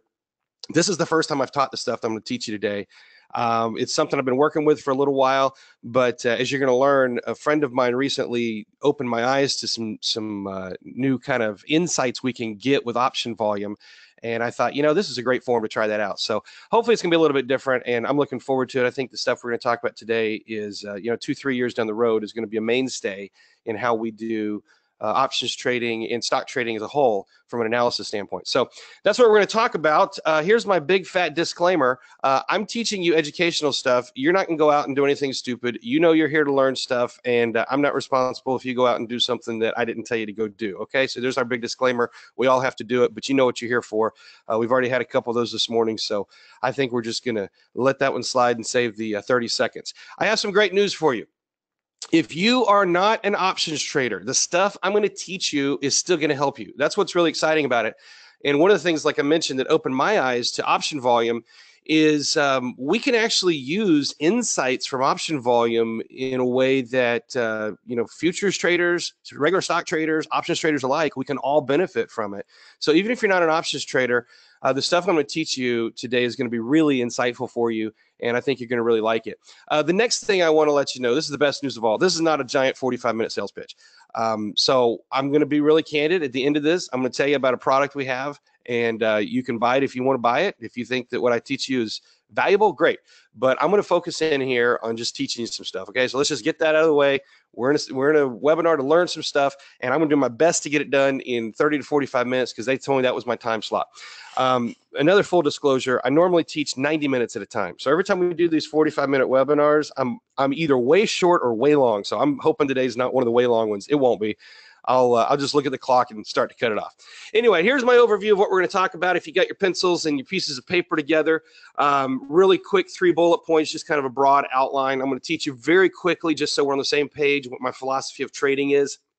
I'm going to teach you how option traders have to show their hand.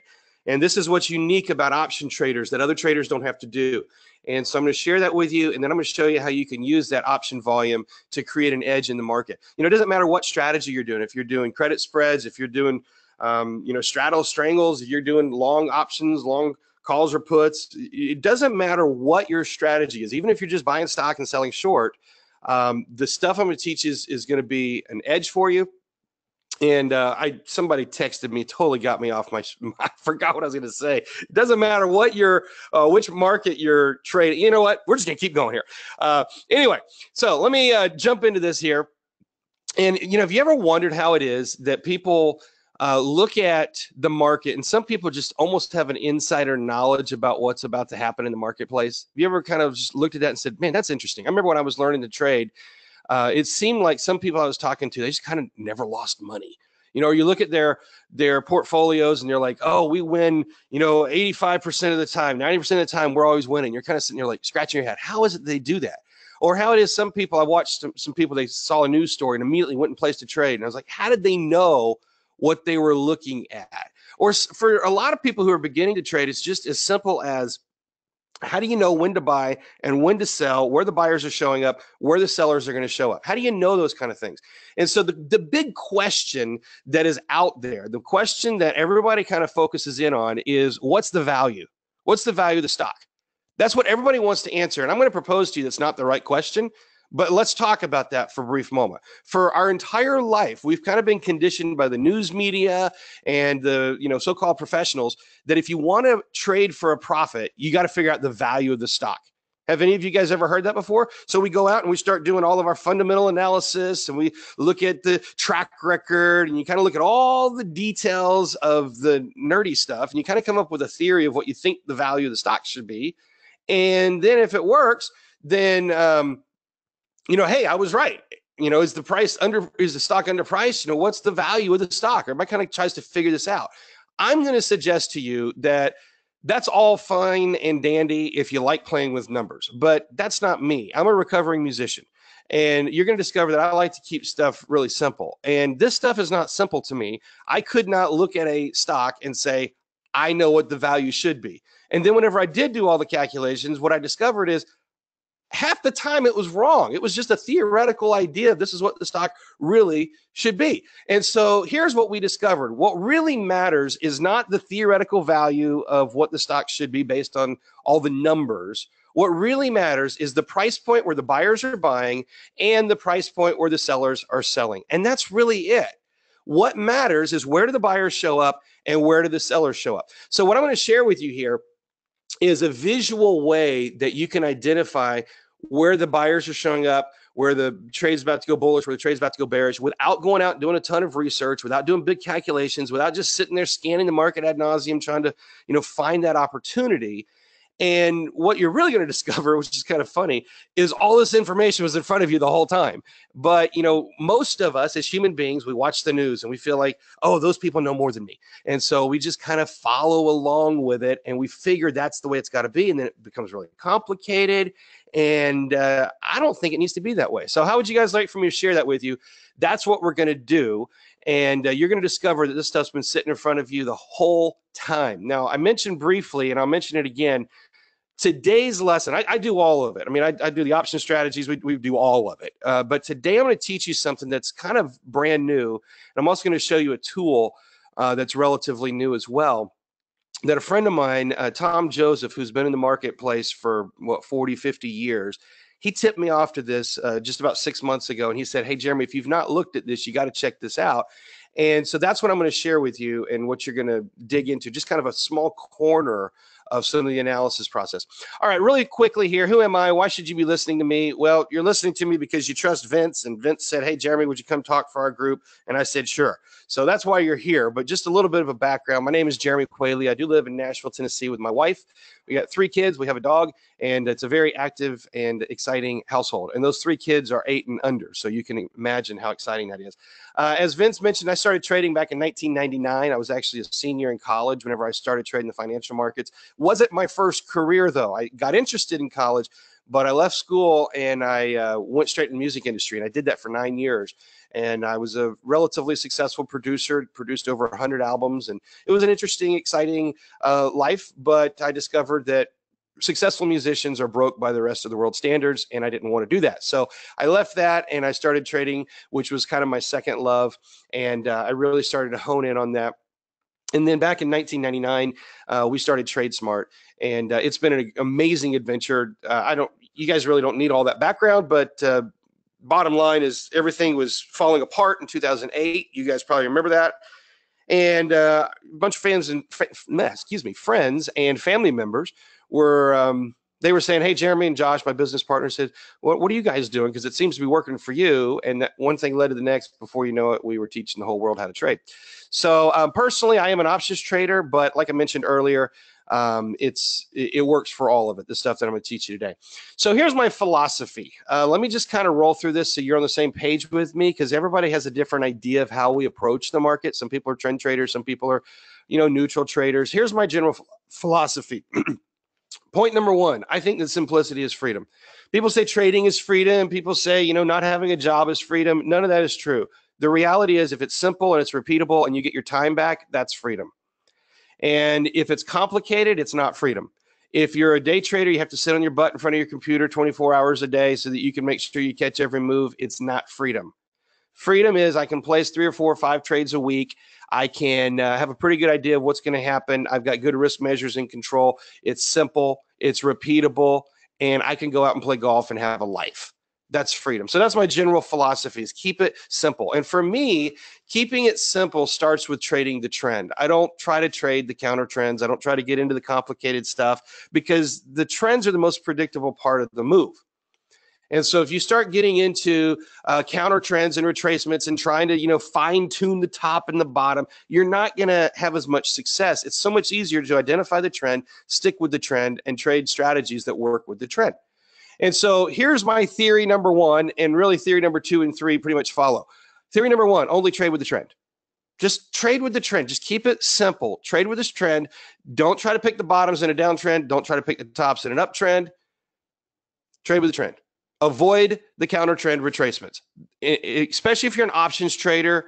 Now, if you're selling options, it's one thing, but if you're a long options trader, the counter trend moves are going to beat you to death. So don't worry about that. Just trade with the most predictable part of the trade. So here's what the most predictable part of the trade is.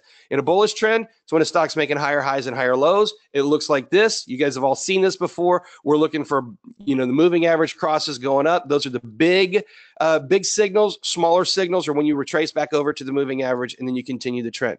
In a bearish trend, lower highs, lower lows. This is what it looks like. You guys have all seen this. The big moving average crosses are the big part of the trend. And then you've got the little retracements that retrace back to a 10 or 20 period moving average. And then you continue the trend. These are your trading opportunities. And if the trend is bearish, you want to do bearish trades. If the trend is bullish, you want to do bullish trades. And that's it. That's it. That's my whole philosophy of trading. And like I mentioned, I'm a recovering musician. I, I didn't come from a mathematical background. I didn't even come from a accounting or deep financial background. I happen to be really good at what I do, but I didn't come from all that background. I keep it really simple because that's what, what musicians are. And that's what I think that you should do. So here's here's maybe the best visual of all. If you're going to try to fight the market, if you're going to try to go against the trend, you're going to be like a fish. You're going to be like a salmon. Don't fight the trend. Why? Because in the end, the bears will get you. Okay, so just remember that. And again, here's my philosophy of trading on one slide trade with a trend. Trade with a trend. Don't try to pick the bottoms. Don't try to pick the tops. Don't trade the counter trend retracements. Trade with a trend. All right, so boom, that's over. Now you know my philosophy of trading. You learn that in two minutes. Now let's get to some stuff that puts money in your pocket. Trading the trend is just a, a structure of the philosophy, right? The magic comes in timing the trade.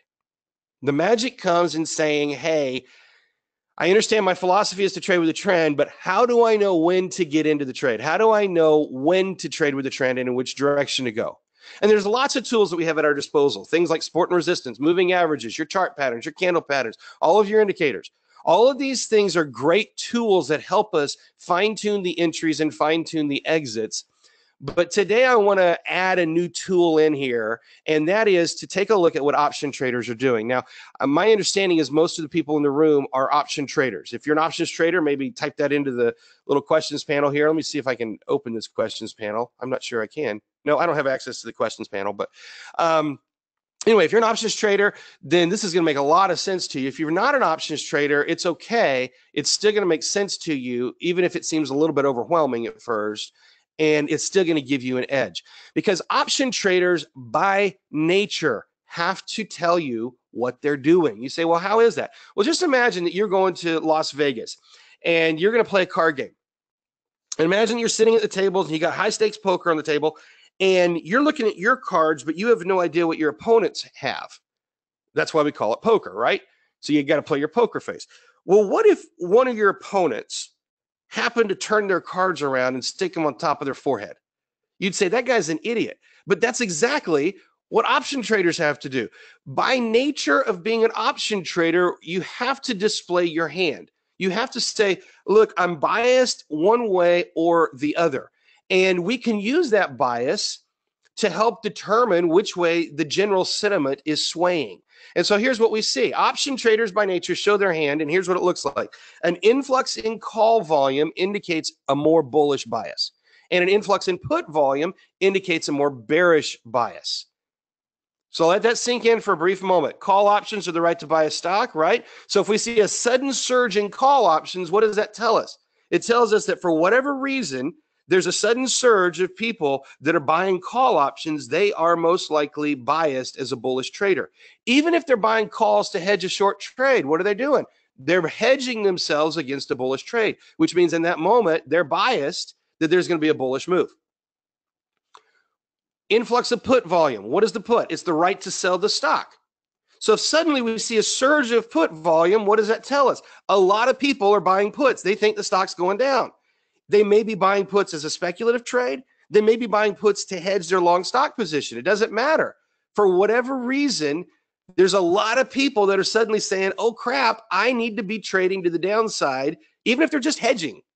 They're buying puts. And that indicates that we've got a bias of what's happening in the marketplace. And very often, not all the time, but very often, this starts to build up about one or two days before the move starts to take place. And so we've got an interesting insight. And uh, like I say, this is something that I've started looking at over about the last six or eight months. And um, it was, uh, I, I, can't believe it's one of those things that's so obvious, but why was I not spending all my time looking at this all these time, all this time? And uh, once I started looking, I was like, my gosh, this is uh, almost too good to be true because a day or two before the moves start, you start to see the buildup. It's almost like going to war. Can you imagine, um, you know, if you're going to go fight the enemy and you're watching and suddenly the enemy is stacking up on the battle lines and you see them building up, what are you thinking to yourself? You're thinking, oh, well, the enemy is building up. There's probably going to be a battle right here. And that's what we see when we see option volume stacking up. So just take a look at an option chain here and notice the volume column. Okay, so both calls and puts, you got a volume column. column. And if you look down here, you're going to notice all the different volume. This is for, for the spiders. You're going to notice the volume buildup. And what you're going to notice on this particular chain is there was a very heavy put imbalance. If you go right at the money, it was pretty balanced. We had about 7,000 and 5,000 for the at the money strike prices.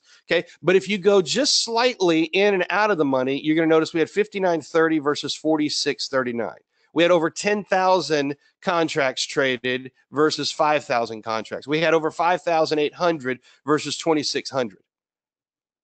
Then if you go the other direction, we had 29,753 versus 12,629.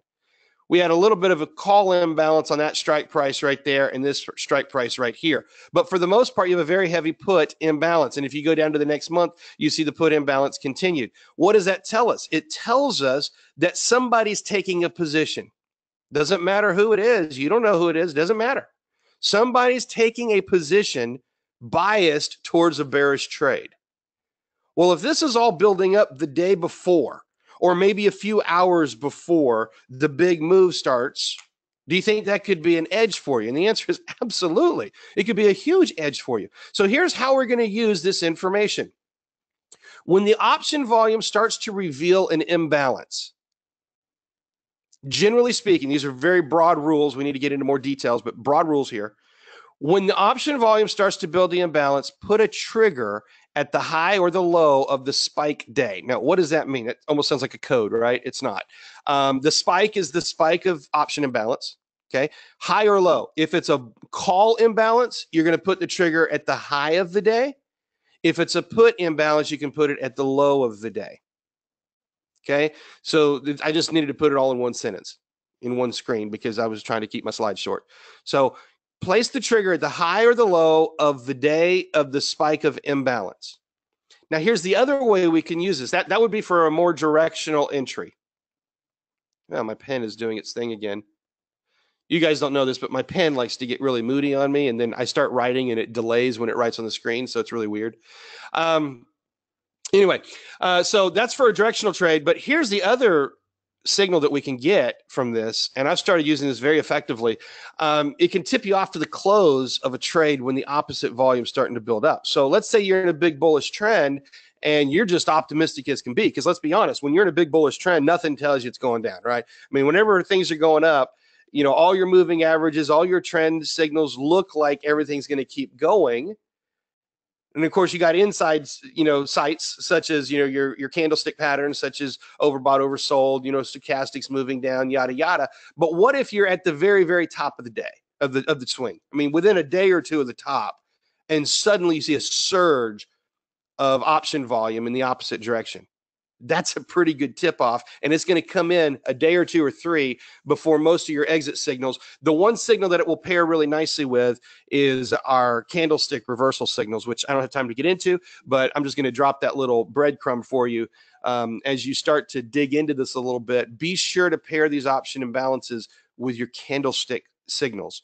Those one or two day signals that tell you when, when things are spinning in the opposite direction, when they're turning around be sure to pair um, the volume with those signals. All right, now let's take a look here at a couple of charts. And here's an example on spiders. This was yesterday, uh, early in the day, actually, before the uh, sell off at the end of the day. So what we saw is we saw the, the option imbalance. I showed you that already. And here's the way you would set this up. If you wanted to continue this trade, you put your entry right here at the bottom. So the next day you would get into the trade. The next day, if the trade continues through the low of the day, you would get in. Okay. And that would be your bearish entry. If it was a bullish setup, you'd, you'd put it at the high. So let's let's hypothetically, I'm going to draw this on the screen because this is not even it's not even kind of real. Uh, but just in a hypothetical universe, let's say that we saw a put or sorry, a call imbalance, and let's say you saw a candlestick like this, okay, which would be a bullish one white soldier uh, candlestick pattern. Okay, so let's say you saw a candlestick pattern like this and a strong call imbalance. Let's say we had a two to one. You know, we had two calls purchased for every put that was purchased. You put your entry at the top of the day, and the next day when the trade continues, then you, you go bullish into that trade. Makes sense? So that's kind of your very short term swing entry opportunity. And of course, in this picture, the one I just drew with that bullish entry, uh, it totally breaks all my rules because it was not going with the trend at all. So that was just for hypothetical scenario there. Just wanted you to understand the uh, entry portion of that. All right, now let's look at the exit portion of this. So right at the top of this swing, let's say that you had traded the spiders, you traded an index fund, over the last few months. You had the big sell off. Things started to turn around. You're building your optimism again. It pulls back. You rebuild your optimism and you're all excited. You're thinking, you know, we've had this 18 month bullish market. It's been amazing. And oh, everything is wonderful. Lollipops and bubblegum. We've had the pullback. Now we're ready to go. And you get up here. You're not even to your previous resistance level. And suddenly you have a huge put imbalance. what do you do? Well, that should be a big old warning sign to you. You say, oh, crud, I've got a sudden put imbalance. I'm not even to my highs yet. I'm getting some, in this case, you know, bearish um, um, three three day candlestick patterns that uh, my brain literally just forgot the name of our, our candlestick pattern here. Uh, evening star reversal. That's what I'm trying to come up with. You know, we got a bearish evening star reversal candlestick pattern here right at the top. We haven't even made it to our resistance level, and I suddenly have a huge put imbalance. That's a big warning. And by the way, for those of you who know the rest of your technical analysis, this becomes part of a three point reversal, right? So now we've got a lower low, a lower high. Oh, crud. Could we be setting up for a bearish trade? Could we be setting up for a primary trend reversal? So you start to have all these thoughts coming through your head. And what you're getting from the put buyers is you're getting this insight that, you know what? Yeah, turns out there's a lot of bearish bias in the marketplace. And by the way, this was all before the alleged trade war with China. This was all before any of the stuff that you see in the news. The news follows the price of the market. It never sets the price. That's a big myth. People always think, oh, well, the market reacted to the news. No, no, no. That's the way the news spins it. The market's going to do what the market's going to do. News reacts to it. I mean, just think back to Occupy Wall Street, right? People are killing themselves in front of Wall Street protesting capitalism and trading, and the market keeps going up. Right? One would think that would be a negative news event, but no, the market just kept going higher. And then, you know, think back a year ago or a year and a half ago, whenever it was, 2015, when suddenly, you know, the Chinese economy, remember that a few couple years ago, we woke up and the market's down 700 points and they say, oh, it's because the Chinese economy has been going down. Do you think that it really took us eight months to figure out the Chinese economy had been going down? No. People didn't wake up one day and say, oh, the Chinese economy is bad. We're going to sell off 700 points today. People did not wake up and say that. That's the story, the news attached to it. So just understand that. You can see the bias of the traders building up on the chart it starts to build up. You're going to get little signals of sentiment, such as your candlesticks, your evening star reversals, dark cloud cover, whatever candlestick patterns are showing up. They're going to start to show up in the logical places where the buyers and the sellers show up at your pivot areas. And when you see these imbalances of volume, biased, bullish, or bearish, it gives you an insight. It's like, oh, look at that. Something's building up. And then, sure enough, three or four days later, the bearish trend starts. And now the news comes out. Oh, we're in a trade war with China. This is just awful. It might even be Russia. I mean, that's the way the news is, right? That's why I don't even pay attention. The news is just stupid. I don't even pay attention to the news. It will it will mess you up. Just turn the news off and watch the chart. Watch what the buyers and sellers are doing because that's where the money's made. All right, now let's make some observations about what I've just shared with you. Uh, I can't see any of the questions or comments, so I'm going to assume you guys are tracking with me. I kind of feel like I'm a little bit on Lonely Island out here because I can't see the feedback which uh, I really like to see the feedback. But I'm going to assume you guys are tracking with me, and I haven't haven't uh, lost you anywhere out there. Um, so here's some observation. Volume is cumulative. And what do I mean by that? It shows both the buyers and the sellers. So if you're coming into the marketplace and you're doing a credit spread, is that a buying or selling volume? Well, the answer is yes. One strike price is selling volume, one strike price is buying volume. But if you just look at an individual strike price, pick a strike price, the, the 250 put, whatever. Um, if you just look at a strike price and you see that the volume is 10,000 contracts were traded, that's both buyers and sellers.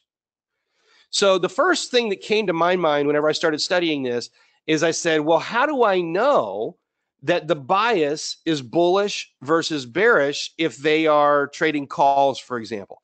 Because if I'm buying calls, I might be bullish, but if I'm selling calls, then I would be bearish. So how do I know that that volume is really reflective of the bias? So you guys can kind of say, oh yeah, that makes sense.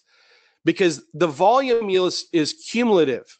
It, it builds up uh, based on buyers and sellers. And every time there's a buyer in the market, there is also a seller. So how do we know that it's really biased in that direction? And I'm going to show you in just a second. The next thing you need to re realize about volume is volume is spread over multiple strike prices. Okay. So the individual volume, like I've already shown you on this on the um, option chain, the individual volume is for an individual strike price. But when we look at cumulative volume, when we look at the bias, you need to look at multiple strike prices. So when I did my example just a second ago, and we'll look at some more in a minute, But when I did my example, I showed you, you know, several strike prices all the way across the option chain, and we saw consistent put imbalance um, for the spiders across multiple strike prices. If you just see it on one strike price, it doesn't mean so much. But if you see it on a bunch of strike prices, it starts to tell you a lot of insight that there's a lot of buildup here. And so what we need to do is we need to assimilate that data better. And I've got a little bit of a technique I'm going to teach you here. I'm going to show you a tool, and then I'm going to show you the one-two punch for blending up the trend and the uh, option volume here. Okay, um, so really fast, let me just address this issue right here, and then I'm going to get into the next um, the next portion of this talk here. Um, buyers and sellers, all that volume shows up for each individual option strike price. But what you also may not realize is when you're going into buying a option, the market maker, unless you're doing a limit order, the market maker is expected to make the market. So the market maker in many cases is the selling side of that trade, and they're going to figure out how to balance it out on um, on their spread. Okay, so don't worry about why they're selling. What you're seeing is a huge demand for the option. And this is what I had to dig into. I don't have this tool available. I have a beta version, uh, but I've, I've got a tool that Tom is developing that shows us what the individual volume is. And it shows if, if, if shows us if it's a buyer just buying a long call or put eh, uh, versus a, a spread versus it's tied to a covered call or something. And so when that tool is available, it's going to really help us even further dig into this volume component. But I really went back and forth with Tom and I said, Tom, no, no, no, this volume is cumulative. You cannot tell a bias from it. And when he started showing me, and then we, when he showed me that tool that he's got, like I say, it's super beta. I can't show it to anybody. It's not even beta. It's like alpha.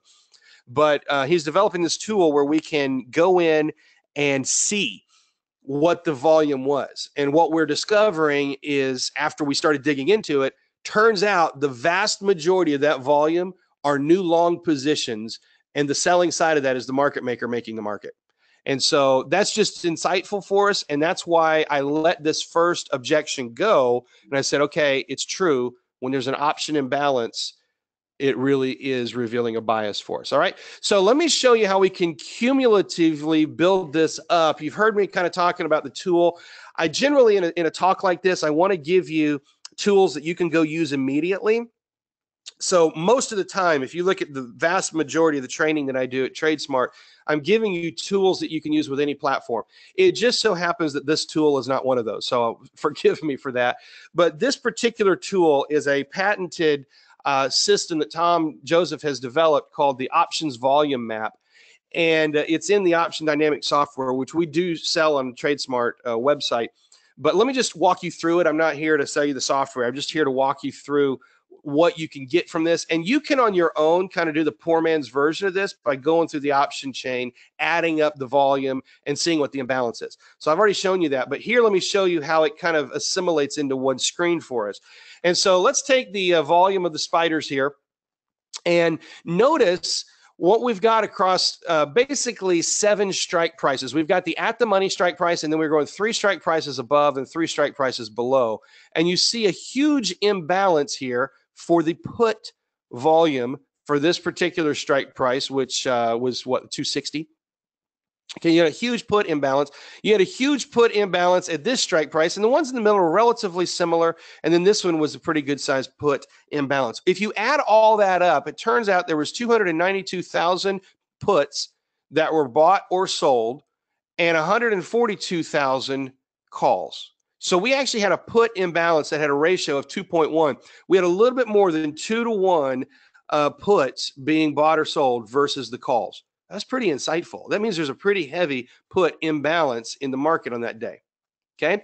Now, if you go out a month, if you go to, to May of 2018, it's a May 18th expiration, uh, we discover there's a 1.6 imbalance. If you go out to the June expiration, you discover there's a two imbalance. So there's still two to one more puts than we have calls that are being sold or, or bought. Okay. Now, what does that tell us? It tells us that there's a lot of speculators buying puts. It tells us there's a lot of investors hedging long stock positions with puts. You probably don't have a whole lot of bull put spreads being written suddenly. You're not going to have 292,000 shares of naked naked puts and bull put spreads being sold. You- you- You're just not going to do that. What it's showing us clearly is there's a bearish bias to the trade. And so that's how we look at this. We look at it through the multiple strike prices across multiple months, uh, certainly the front month. The front month, and by the way, the monthly options are way better than the weekly options. The weekly options just don't have enough volume to really indicate the bias. But go monthly, and if you get down to less than six days to expiration, we definitely go to the second month. Uh, but we look at the monthly options, and we're looking at the imbalance between the the calls and the puts across multiple strike prices.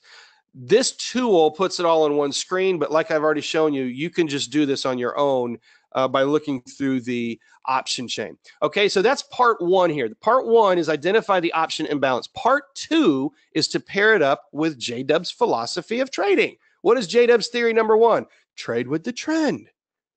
Trade with the trend because the trend is where all the momentum is.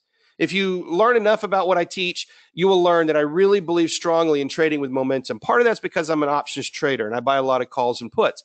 And when you're buying a call and put, the lack of momentum is like death because you're fighting time decay. So I've just conditioned myself that I'm trading with the momentum and I want to buy in, in a trade that's already moving. I want to trade in the direction of the trend because that's where all the momentum's at. Okay. Even if I'm doing spreads, now I apply it to the momentum because it just puts the winning the winning trades right into your category. It's just like win, win, win, win, win. You know, you do a high high uh, probability trade trade strategy like a credit spread, and um, you know you add that to a trend. Instead of doing bull put spreads that are counter trend, just do bull put spreads that are with the trend, and you're like, oh, I win like 98% of these. It's amazing because you already got a high win percentage and you're doing it with the trend. Trade with the trend. All right, now here's step two of how we're going to create this setup. And this isn't a full setup. This is just the, the tool that I'm showing you today. Number one, trade with a trend. And we're going to use moving averages for that, by the way. Number two, identify the cumulative option imbalance. And the magic number that we've kind of discovered is 1.5 or greater. 1.5 or greater is the magic number. And then we're going to trade in that direction. Okay. And as a bonus, there's a pivot area that matches this. Now, if I'm using language you're not familiar with, a pivot area just means it's a swing high, swing low. It's at an established supporter resistance. You know, if you're kind of in the middle between pivot areas, less viability. But if you are at a pivot area and you see all these things adding up, it's kind of like ding, ding, ding, ding, ding. This is awesome. All right, so let's walk through these things, and then we're going to actually walk through a trade setup. Now, I think I'm supposed to be done by 11:15, but we started slightly late. So, um, moderator, could you just type in the chat here what time I'm supposed to be done? Because I'm supposed to have 45 minutes here. So uh, I'll try to just go through this really quickly here. So notice the moving averages. We're below the averages. We've got a moving average cross. This is a bearish signal. Okay, there's our bearish trend. We've identified we're in a bearish trend. That's all it takes right there. We're in the moving averages. We're bearish. Now, next thing, let's look at the imbalance. Option volume imbalance, heavy imbalance, two to one to the put side, one to six to the put side, 2.0 to the put side. We got a heavy put imbalance. And then if you want to add insult to injury, look at the chart pattern that we had on here. We had a great triangle. Well, the triangle is a measured move. We can take this movement right here and we can say, you know what, based on that, move right there, our target is probably right down here at $250. How do I know that? Because I came right in here. I looked at the high and I looked at the low. The space there is about uh, 15 to $18. Look at the breakout here. There's your measured move right there. We come up with about $250. There's your measured move. Now we look in here. We've got the breakout of the pattern. We're below the moving averages. We're continuing the bearish trend. We've got bearish candlesticks. Add to it, we've got the bearish gap. Fantastic. And look at this put imbalance this is a high probability trade for us. And this actually started to build up two days ago after the uh, after the bearish gap here, and it just continued at very high levels yesterday. And when I took these screenshots yesterday, it was early in the day. Uh, it got even better by the end of the day. It's fantastic. So, all right, that's the general setup right there. And if I stop talking right now, which I could do if I need to, um, Okay, they say I have until 25 minutes past the hour. So I have another 10 minutes. So let me go through a trade setup with you. I want to walk through uh, the whole setup and the whole sequence. And this is on Disney. This is a trade that we did Uh, we talked about it. I actually sent an email out uh, announcing it when we were doing it. We actually did this full disclosure. What we did, we did this with a bear call spread. We did it with a bear call spread. So Dave was talking earlier about uh, credit spreads, and we did this particular trade with a bear call spread. It was a directional trade, but we set it up with the spread, just giving you that little uh, insight. Um, well, you could have done this by buying puts. It doesn't matter. In our case, the, the one that we set up, we happen to do with the bear call spread. All right, so here was the setup for Disney. Uh, this was starting on 313. That's March 13th. And uh, you notice that we're below the moving averages where we've retraced up to the averages. We've got a bearish engulfing candlestick pattern. It's ready to turn down. Great. And look at your put imbalance. We got a 1.6 imbalance to the put side. Now, remember what was our magic number? Our magic number was um, 1.5. So here we've got 1.6. What we've found is if it's anything 1.5 or greater, it tends to be a pretty good signal. Would we pair it up with the trend and with candlesticks? It's a really good signal. And so we got a one, two, three punch here. All right. So now let's go to the next next trading day here. Here's what happened. Oh, sorry. Uh, entry point is at the low of that candle. Entry is at the low of candle. Next day, we didn't actually hit the low of the candle. It was just kind of inside the previous day. The following day, the trade confirms. You get into the trade down here at uh, whatever that price point was. I didn't mark it on the screen here. And since I did a slide, I can't hover over it, but it was about uh, 103 and change. All right. Next day, the trade continues. By the way, notice your put imbalance is building now. Okay, our put imbalance is building, but we started to build this put imbalance way back here. We started to see it early in the move as you'd retrace to your moving averages and started to continue bearish. We saw the, the, the put imbalance coming in. Next day, the put imbalance goes down. So you're starting to see that as we get to our support level, we still have the imbalance, but it's not nearly as high as it was because traders are starting to question Am I at support? Are we going to build the support here? That's what every trader is questioning, whether you realize it or not. So you might take your profit there if you want to. The next day, we have a little spinning top at that support level. Put imbalance stays at 1.3. All right. So now you're you're definitely questioning should I take my profits and the answer would be if you want to you could take your profits there. What I would tell you especially with our credit spread we let it run. I, I said, you know, look at the 10 period moving average. If we start moving above the 10 period, then we'll rethink this. But at this point, as long as you're above, you're below the 10 period moving average, you're going to be in the clear. The next day, what did we get? We got a little bullish candle, right? Wrong. It's a green candle, but look at this long upper shadow traded right to the 10 period moving average. Put imbalance stays, but that long upper shadow at the 10 period is telling us that the sentiment is still bearish. We're pushing up into the moving averages and we can't get the support. We can't get going. And so it starts to sell off a little bit more. The next day, what do we have? This is on 322. The bears continue. We start to break below support. Look at your put imbalance now. Boom. Huge put imbalance. The next day, we move it forward. Huge bearish breakout. And uh, 7.2 is your put imbalance. That was yesterday. Where do you think this trade's going? It's pretty easy. We can look here. We can say, here's your next support level. 97.50 is going to be our next target.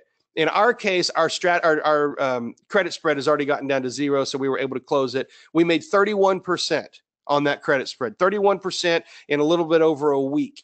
That's not too bad. Most people are happy to make 15 to 20% a year. We made 31.5% in one week, a little bit over a week. And by the way, it was a high probability trade. I know Dave just talked about credit spreads, uh, and his strategy, the 11 hour strategy, is fine. There's nothing wrong with that. It's a great strategy, it's a technique. Um, the spread credit spread itself is just a structure for how you can approach the strategy. And so that brings up the, the next question. Okay, Jeremy, great. I see we follow the trend. I see we're going to use the option imbalance. Now the question is, which strategy do I want to use? And you know, people say, Jeremy, should I buy puts? Should I should I sell calls? You know, should I do credit spreads? What should I do? And the answer is yes. The answer is yes. There's really not a right or wrong. This is the interesting thing about traders. Strategy is like crack to traders.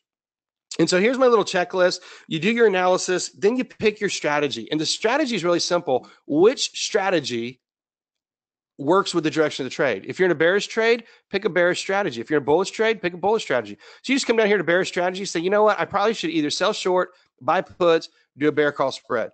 If you're a futures trader and you have that kind of option volume insight that the spiders are going down, you think it'd be a good time to maybe short some some SPX futures? Yeah, it'd be great. So whatever your strategy is, if it if it lines up with that analysis, the analysis was that the spiders were going down. In the second example, the analysis was that Disney is going down. Now I have the information, just apply a strategy that will win with that information. And that's it. That's how simple it really is. All right. So let me recap this in three simple steps, and then I'll be done here by uh, 25 after the hour. So here's your three keys to trading option volume and getting an edge. Number one, trade with the trend. Boom, trade with the trend. Number two, identify the cumulative option bias. Okay. You can do that manually by looking through the option chain, or you can get a tool like the um, software that I'm using and um, you can look at it through those eyes. Number three, apply an appropriate strategy. If it's a bullish bias, apply a bullish strategy. If it's a bearish bias, apply a bearish strategy. And that's how simple it is. How many of you find that interesting and maybe a little bit insightful? Unfortunately, I can't see your feedback, so I'm just going to assume that you guys think it's fantastic. And you probably want to learn more about it. Like I mentioned at the beginning of the class, um, this is a pretty new technique that we've just started working with over the last six to eight months. And I'm just now finally putting it into a mastery class. I'm excited about it. I'm going to teach this class coming up April 4th. And what I'm going to do in this class is I'm going to show you uh, more insights on trading with option volume. I'm going to introduce a tool called the Elliott Wave Turning Point tool that actually helps us with identifying the trend and where your targets are. It puts it all into one tool. It's awesome. It makes it so simple. And then I'll also share with you a new strength indicator. Um, and we're going to put all that together into this April 4th class. It's about a 90 minute to a two hour class. It's coming up on April the 4th. is uh, one of our mastery series here. Now, the regular price on this is $249. Uh, today, we're going to do it for $49. You can get that at tradesmartu.com slash special. And uh, this special is case sensitive because uh, it's really just going to redirect you to a, a um, to a shopping cart where the number was so complicated. I said, well, we can't do that. No one will know that.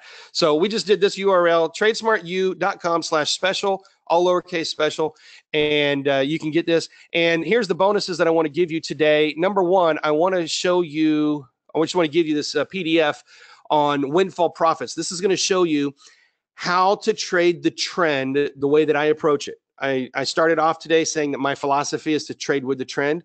So I've put that into a little ebook called Windfall Profits How to Catch Big Trends and Take Huge Profits. And it's really just my trend trading philosophy. It goes through the moving averages and how I approach that. So I'm going to include that for free. And then here's the other one. This is one I'm really excited about. Uh, this is our core program, Foundations of Stocks and Options. We sell this on our website and we've sold it for years, uh, almost 10 years. We've sold this for $897. And um, I just want to give it to you guys today. Uh, they told me that I needed to give you a really great offer with a whole lot of value. And I said, well, what else could I do but give them my entire trading system and foundations of stocks and options that we sell for almost a thousand dollars? Just give that to you guys for the $49. And here's the cool thing. This is starting April 3rd. So this is an eight week program, or sorry, a four week program, eight classes uh, starting on April 3rd on Tuesdays and Thursdays. If you can't make it, then we've got the videos. You can watch the recordings. And all together, that's $1,146 if you went and bought it all on our website. But uh, hey, today you can get it for just $49 by going to tradesmartu.com slash special, all lowercase. It is exactly 1125. Boom. We did it in 45 minutes. Raul, I'm done. You you hit the the goalpost right on. That's awesome, Jeremy. Thank you. I, it's a miracle. I've never done anything in 45 minutes. Well, I'm impressed. Listen, I got a comment from Trey. He says, Mr. Whaley is an awesome guest. Very interesting. Thank you, Trey. Uh, and another, there was a question earlier on, just a quick one. What is that charting platform that you were using? Yeah, so the charting platform I'm using is called Option Dynamics, and um, you can get it on our website. Uh, let me pull this over for you. Um, uh, hold on here. I got the wrong page. This is foundation. So see, if you go to our website and you go find foundation stocks and options, it's $897. Um, see, it really is that price. I'm not making it up. Uh, here you go. On our website, if you go to um, tradesmartu.com and then you go to, it's actually under education. even though it's a software. Click on education at the top and then go to the bottom where it says software, or you can just click the link that says software. The bottom of that page, option dynamics by dynamic trend, and um, you can get that software right here. Now, I could tell you to go buy it, which I think you should. I could also give you a little tip that if you show up in our Foundations of Stocks and Options class that we've bundled with this, that's going to start on April 3rd, I cannot legally give a demo away of this software because I have to pay for it and it's against my reseller agreement. So I can't do the demos on it. But here's what I can do I can bundle it with another course. And in April 3rd's class, at the end of that program, after you discover all of how we teach you, I'm going to put this into a bundle and you can actually get a couple of months of it with the bundle of some more training. So uh, that's a way that you can get there, or you can just go buy it and um, it's 249 bucks a month, and that includes data and everything. That is awesome. Thank you very much. Uh, Karen in Florida says, and we'll finish it off with this comment. She says, I like his energy. I like your energy too, Jeremy. Thank you so much for joining us. Appreciate it. Well, thank you. Um, you too can have this kind of energy if you just drink a hyperactive uh, caffeine shake in the mornings. Well, listen, you and I will uh, talk offline about that. I'm interested. You, how much is that? How much is that program? well, we'll talk soon. Thank you again. All right. You guys have a good day. You too. Bye bye. All right, our next presenter is the very esteemed, very charming Rob Booker. He's going to be on shortly. I'm going to just give him the presenter controls. Rob, let me know if you have the presenter controls and if you can hear me. I can hear you and I have the controls. How are you, sir? I'm great. Nice to be here. Likewise, I have a pleasure to have you here. Looking forward to it. You're uh, this is the big finish here. I'm going to get Vince to give you a short intro and then we'll let you have at it. Rock on. Excellent. Our next speaker is Rob Booker. He is a well known currency trader, educator, and the host of the Traders podcast. He started his trading career in 1999, and his methods, ideas, and knack for teaching uh, others have helped shape the growth of online trading. Uh, his 2007 book, Adventures of a Currency Trader, uh, has influenced a generation of traders who aspire to trade for a living. He lives in Houston, Texas with his wife, four children, and three dogs. Rob, it's great to have you on. Thank you so much for joining us this morning. Uh, looking forward to your presentation. Hey, thanks a lot. I'm really happy to be here. Hey, everybody. Uh, welcome. My name is Rob Booker and uh, super happy to meet you, get to know you better. Some of you know me already, some of you don't. Um, and I just want to kind of talk to the charts. I don't have anything for sale. I do have a free indicator for you at the end of the presentation. And uh, I want to start off by telling you that I love you. And I'm happy it's Saturday and kids are enjoying iPad time at the house. And I'm here at the office and I'm going to head on back and play some Minecraft. So I'll get out of your way and uh, you'll get out of my way in about 45, 44 minutes and 20 seconds. All right. I'm a big believer in simplifying everything. If you like to do things the complicated way, then uh, this is not the right presentation for you. But if you like simple and you just want to make money and you want to quit your dumb job or you want to tell the creepy guy in human resources that he should stop looking at you strange when he walks around the halls, you want to tell him to shove it uh, or if you just want to have some extra income and you don't want to sit in front of the screen all day long and you don't want to have to learn how to redo the quadratic equation or reinvent the theory of relativity, then you're in the right place. I'm going to show you a couple tricks that I do uh, and, and tell you a little bit about who I am. So uh, we got some charts in front of us right here. I'm, I'm assuming you can see those charts and I hope you can. I'm going to draw all over the screen and uh, tell you some stories, and I hope you have a good time. So it was 2013, and I was traveling across the country, and I was sleeping overnight at the homes of traders all over the United States. And I, I went on this tour. I was in like episode 200 of the Traders podcast, maybe 100 and something. And I decided to go on the road and sleep overnight at traders' houses and then interview them in the morning and look at their charts and see what they did. And I met some incredible people. I met Dwayne in Colorado, and um, he was just, he had like, I don't know, 500 trading books and just tons of education and he had simplified trading into his own little system and it was inspiring.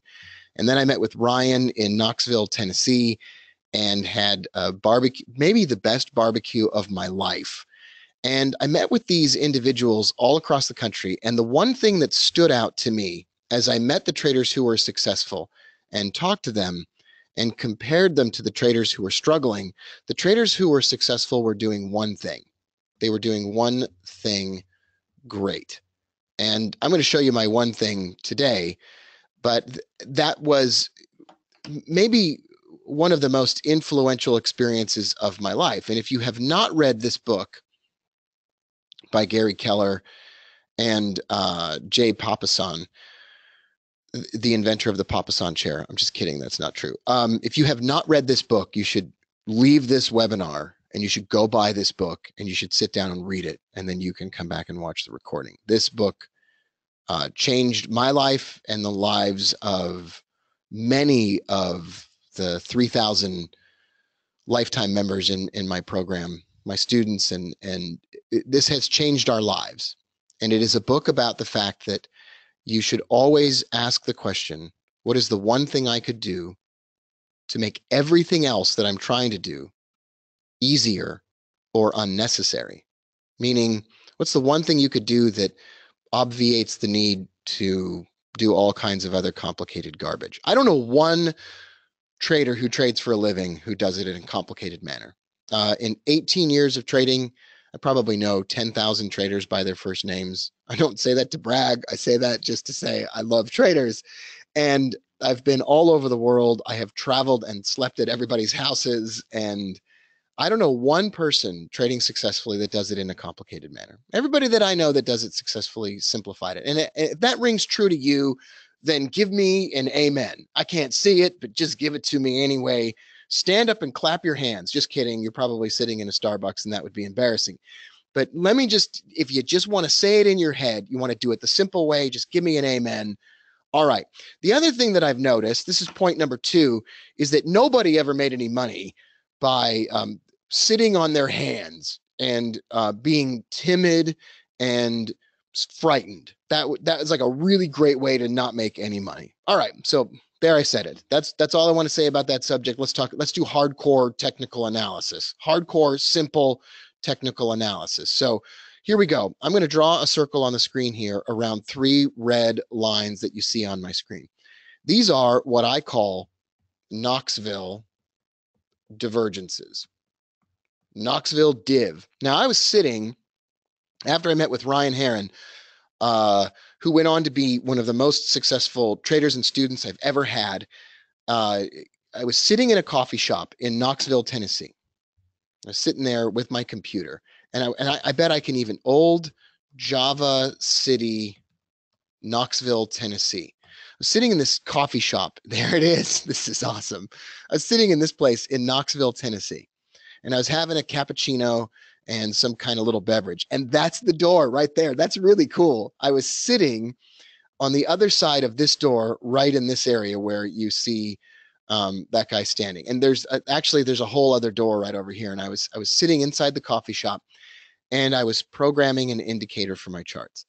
And I was sitting there having my cappuccino. I was reflecting on the first 20 days of the travel across the country that I'd had, and I and I had this major epiphany that the, the divergences that I loved to trade, which are that it's the disagreement between price and an oscillator, could be improved if I simply added a little bit of a filter. And I'm going to show you how I built it.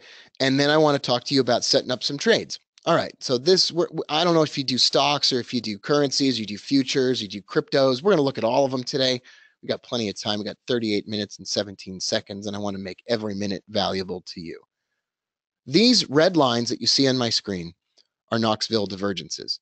They are early warning signs and suggestions, but not guarantees that price is going to reverse.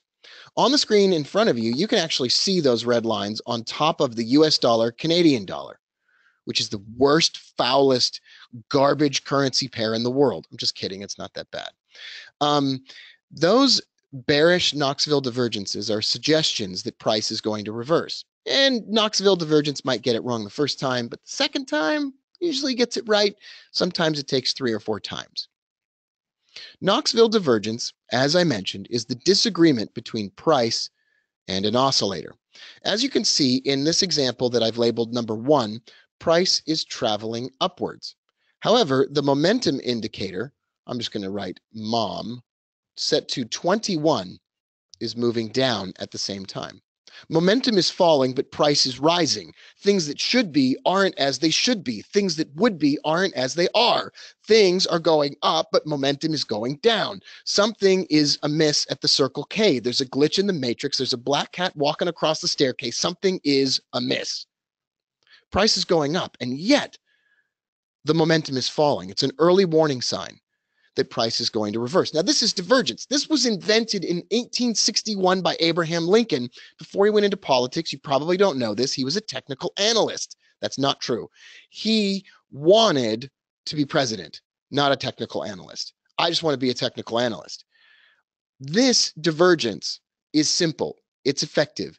It was invented a million years ago. It was probably traded by, by Chinese rice traders in 1465 I didn't invent it. I didn't invent anything.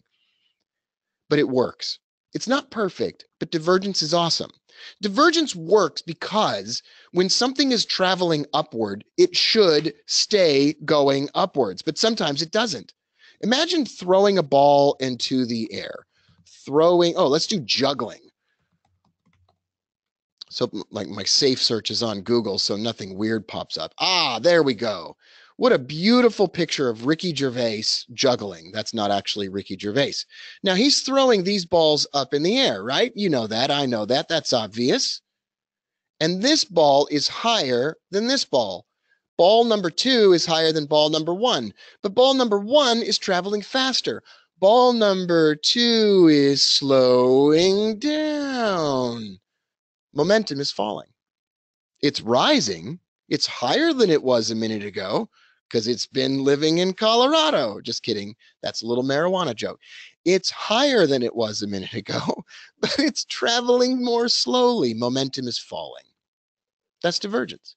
Now, I remember reading about divergence back in the early 2000s. John Murphy's technical analysis of the financial markets. I remember reading about that. Good for good for divergence. But divergence has this one little problem. Something might be divergent and you can find divergence a hundred different places, but it's not enough. It's not enough that it's divergent. We need something else. So what I did was sitting in the old city Java coffee shop in Knoxville, Tennessee, I added a filter. And that filter was the relative strength index, the RSI. RSI, bringing you joy at overbought and oversold levels. The RSI is the relative strength index, is an oscillator. It goes overbought and it suggests that maybe price has done something abnormal. Like, I don't know. I'm not even going to say it. Price has done something abnormal. Knoxville divergence, or KD for short, is when price is moving upward, but momentum is falling. And across the same set of candles that created the divergence, the relative strength index invented by Warren Harding in 1917, not actually true, when the relative strength index is also overbought in that same group of candles. It's a filter, it's an add on, it's a confirmation, which is usually only for eight year old Catholics, confirmation. But now it's also for currency, stocks, futures, and cryptos. Knoxville divergence, once again, is the disagreement between price and momentum plus overbought or oversold. It prints a red line on top of the candles when there is a suggestion, not a guarantee, that price is ready to reverse. You can see here on the charts, there are two different examples of Knoxville divergence. The first one, uh, you could say fails. The second one succeeds and accurately predicts that price is going to fall. I don't believe in leading or lagging indicators. I think that whole conversation is interesting, and yet I don't really care about it I just care about percentage accuracy. And everybody always wants to know how accurate is this? Well, the robot that I built that trades these automatically trades with about a 75 to 85% accuracy. It depends on which financial instrument you're trading, and how big of a profit target you're going for. But it's super accurate. It's super awesome. We'll talk about that later. The second Knoxville divergence that you see on the screen in front of us right now printed a red line across the tops of the candles that were rising, but momentum was falling. And at the same time, the relative strength index was so overbought, it could see its feet by looking up or something like that. And that was an early warning sign that price would fall. Now on this chart also, we have bullish Knoxville divergences, which just printed on this 60 minute chart. Sometimes people ask, well, what time frame chart does this work best for?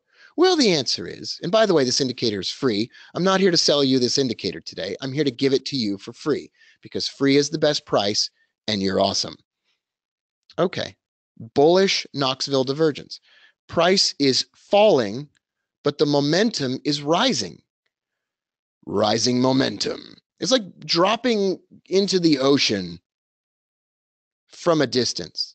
You're going to fall really quickly into the water, but the volume of the water around you is going to slow your descent. And eventually, the air in your lungs is going to bring you back up. You go down, you come back up. The price is falling. The momentum indicator is rising. That says, hey, we might be going up soon.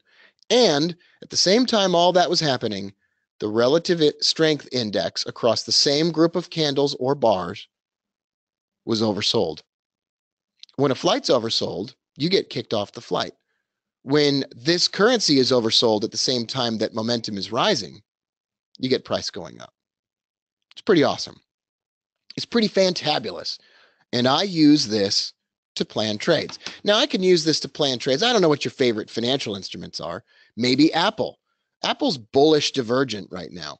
I'm not sure that that means anything right this second, but you can see here that Apple printed a couple of bearish Knoxville divergences over at the right, left, excuse me. And that somewhat predicted that there was an early warning sign that price was going to fall. Now we're getting a bullish Knoxville divergence, and it's an early warning sign that price may begin to rise. Today, I'd like to share with you a simple method for combining Knoxville divergence, maybe just with trend lines or maybe even with Fibonacci. Now I'm going to use my powers of ESP and I'm just going to figure out if some of you want to use trend lines or Fibonacci. Um, Fibonacci wins every time. I don't even have to close my eyes and do ESP because Americans and everyone across the world is absolutely obsessed with Fibonacci. Now, if you want to look at trend lines as well, we'll save some time to do that also. I'm just going to go ahead and tell you right away that if you already want to download this indicator, you can go to robbooker.com, click on free indicator at the top of the page. And if you want to get started on this, you can download the indicator for free for TradeStation, eSignal, Thinkorswim. Although Thinkorswim is awesome as a broker, it's garbage for charts, so I don't recommend it, but we've got it for that. MetaTrader, Sierra Charts, and a variety of other trading platforms. You type your name in there and your email address. You could download the indicator, and then I will just spam the ever loving. Just kidding. I won't. I won't spam you. I promise. Okay. So after we see Knoxville divergences, we could use a simple Fibonacci uh, sequence to plan a trade. So I want to show you, I want to look around here for some some some good examples. Oh, this is one right here. Oh, this is really nice. This is going to show us exactly what we want. I actually um, set this trade up recently, and this this could be should be something really special. This is the Canadian dollar Swiss franc, Schweizer Franken. Now, as you can see here on the daily time frame, doesn't matter what time frame you use. You could apply this to the one minute charts if you want to. You could change you could change this to the one week charts. Doesn't matter. But step one is you find a Knoxville divergence on your charts. Right, step one, done. We see it right here. The line completed. Wonderful, excellent, marvelous. Okay, now what we're going to do is we're going to grab our Fibonacci retracement and we're going to start drawing at the at the swing high or the highest point that we can see going back 50 to 100 bars or candles. We're going to drag that Fibonacci down. Nice line, like, like that. All right, then we drag that down. and we end it. We end the Fibonacci at the bottom where the Knoxville divergence line terminated. I'll be back. And then something really interesting happens. I'm going to click here so I can draw on my screen. Thanks, Microsoft Surface Book 2. What we have here is we have a break above the 23%, the 23.6% retracement level. You can also see here, I added in the 0.15 three retracement level or the 1.53 or whatever you want. You know, people call it the 23.6, the 153. These breaks of these levels give us high probability trades, super high probability trades. And if you trade from the longer term charts, congratulations. You don't have to sit in front of your screen all day. You could just come home and look at your screen. So what I like to do is wait for a Knoxville divergence to occur on a daily chart. Check the charts after the market's closed or about five o'clock Eastern time. And then I plan trades that fill up the spaces between the fib levels. A trade from the 15% fib level to the 23% fib level. A buy on a break through that level and an exit when it hits the 23. That is a super high probability, fantastic, marvelous way to trade from a long term chart that doesn't require a lot of calculations and it's super high probability. I could put a stop loss underneath the lows if I want. I could even put a stop loss underneath the candle that broke the 15% retracement if I like to have those super tight stop losses, baby. I could do that. Now, we also can have a trade when we break through the 23% retracement. But oftentimes, here's what a financial instrument will do it will do one of these one, two, three patterns. One, it'll break through the 23. Two, it will drop back down. And three, it will go right back up and complete a move all the way to the 38. This is particularly true for the stock market. I want to look at some examples or continue these examples. And I'm just going to pull up a list of stocks that I like to look at. All right. I've sorted these stocks by price. I'm just going to see if there are any recent Knoxville divergences here, which there are. Beautiful. Oh, we got two examples here. Why don't we look at both of them? I'm going to go full screen here. Aha, we have a Knoxville divergence at the bottom of the screen on a daily chart. This is Amkor Technology. They make toilet seats. I don't actually know that that's true. I just made that up. I don't care if they make toilet seats or if they make crack pipes. Doesn't matter to me. I don't really much care about the fundamentals. Not at all, really. I mean, I don't want to buy a company that's total garbage slash Groupon, but you know, I might buy just about everything else. I might get myself a list of stocks that have a strong return on investment and maybe earnings. I might go over to finviz.com, for example, click on screener. I might click on, um, you know, remove ads. And I might look at something like average volume's got to be under 500K, over 500K that might be good. I might uh, do a price under $15. I might look at the financial stuff, relative volume, ownership. Um, oh, fun. Here we go. Fundamental. I might look for return on investment, uh, positive return on investment. I might go really positive return on investment. 27 stocks. Now I've got a list of stocks trading under $15, which could move a lot, which I could trade with a smaller trading account. And I have a list of 27 financial instruments and I might just I might just use that. And that's my list. And then I just plug those into my trading platform and start charting those bad boys on a daily basis. I've got my Knoxville divergence that's bullish. And when that Knoxville divergence line is complete, I might draw my Fibonacci retracement lower.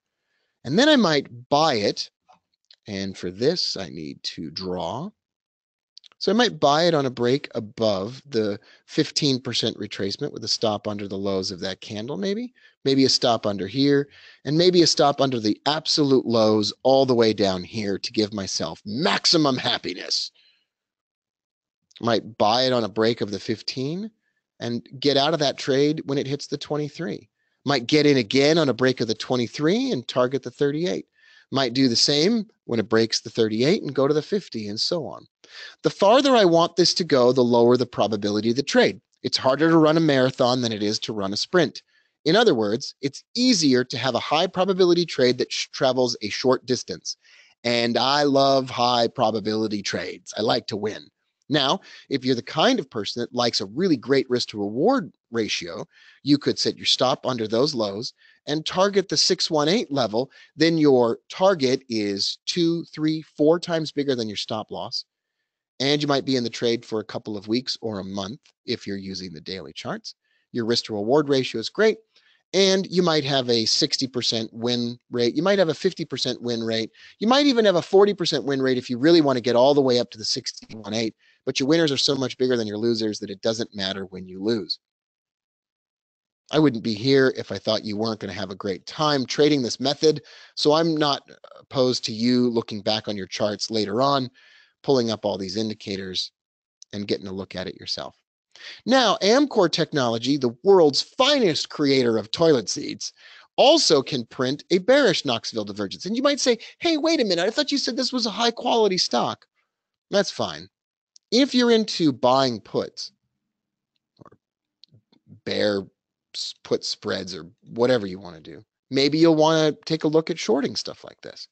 I will draw a Fibonacci from the low to the high. My little charting stuff was getting in the way of me dropping the level there. And I might short this stock on a break of the 15 to the 23 and from the 23 to the 38 and from the 38 down to the 50 and as you can see, we get all the way down to the 76, not without a little bit of back and forth. Once again, look at divergence, set up the fibs, and then I'm good to go. Here's an example from Blue Apron Holdings. Blue Apron, bringing you unhealthy food in the mail. All right, so um, Blue Apron, I'm not exactly sure that this is a super high quality stock. It did an IPO, it dropped immediately and then it printed bullish Knoxville divergence. It broke the 15, couldn't get up to the 23, and then dropped from there. You know, tough to trade a brand new financial instrument. However, we set up another divergence a little bit later. Sometimes the first one is a failure and the second one is beautiful.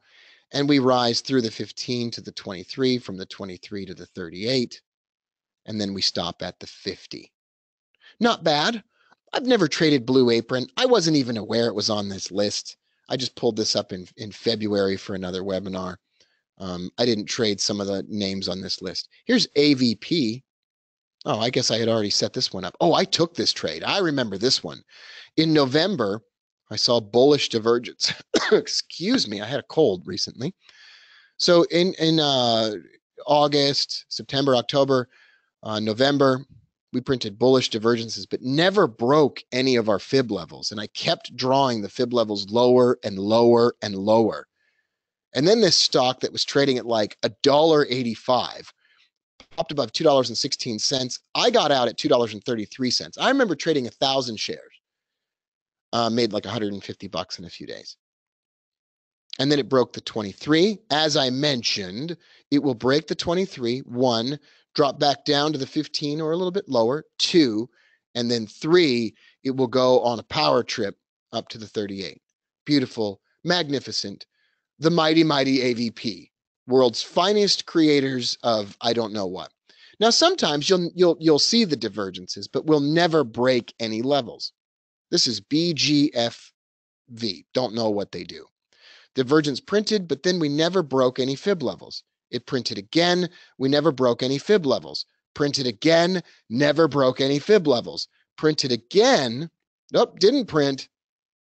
So we just forget about drawing these levels completely. Now you could still make a little money from the 15 to the 23, but it's kind of irrelevant. Sometimes The divergence will print, but the fib levels won't ever break. Let's see if I don't even know what this is. The Ceragon Networks Limited. Don't know what these people do. C R N T, bringing you joy. So we just click here, we draw a fib level up, and check it out. The bearish divergence leads to a break of the 15 to the 23, from the 23 to the 38, from the 38 to the 50, blah, blah, blah, blah, blah, yada, yada, yada. If you like trading stocks, I think you're going to love doing this. That's really the simple, effective, easy ways to look at this. I don't know. Let's look at the stock screener. Let's just grab NCM, National Cinemedia. I don't really know what these people do. Maybe they hand out drugs to children. I don't really know. This really looks like it was a piece of garbage for a long time. Does this look like a high quality financial instrument? Negatory. But let's check this out. Look, it just it just recently printed bullish Knoxville divergences. So I might go draw from the highs down to the lows.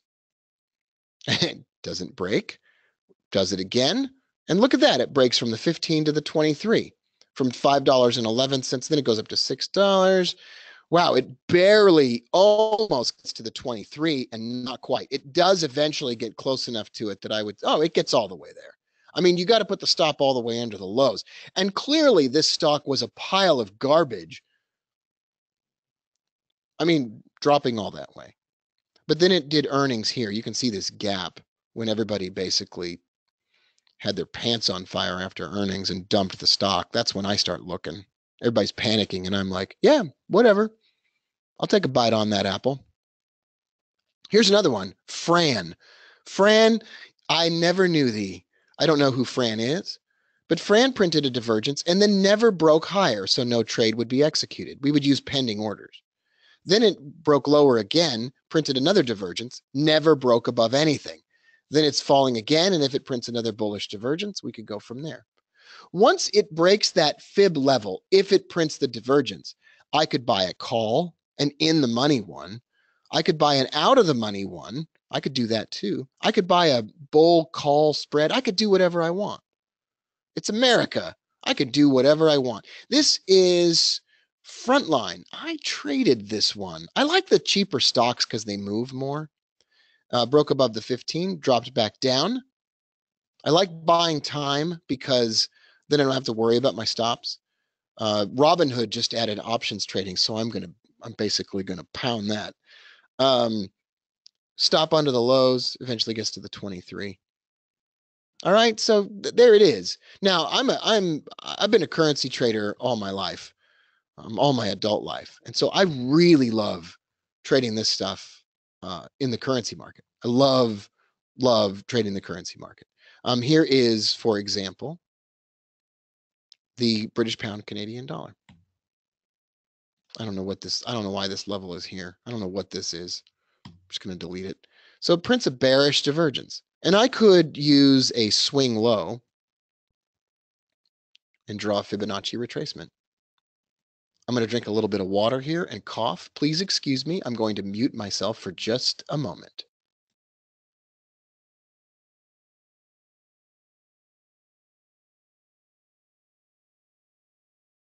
I love the currency market because it's spot on. And some of these fib levels get hit exactly. They just get tagged exactly. I love trading the longer term charts also, so I don't have to look at it all day long. I also, some of you already know this because some of you are my friends. I also just automate the stuff and let a robot trade these things because why would I want to do something worse than a robot could do it? And why would I want to sit in front of the screen when I can let a robot sit in front of the screen? And then I can look for refinements and improvements to the system itself while the system is running. I mean, listen, I, everybody's got their own way of doing things. I just, if I can find a simpler way to do it, that's the way I'm going to do it. If I can spend time with my family instead of sit in front of the charts or whatever, that, that's exactly what I'm going to do. So I trade a lot of currencies. Um, what I do is uh, I trade the currencies on one minute Knoxville divergences uh, buy the British pound Canadian dollar when it prints a bullish Knoxville divergence.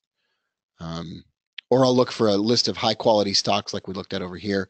And then I'll just set the robot to buy that stock on all short term bullish divergences for small gains.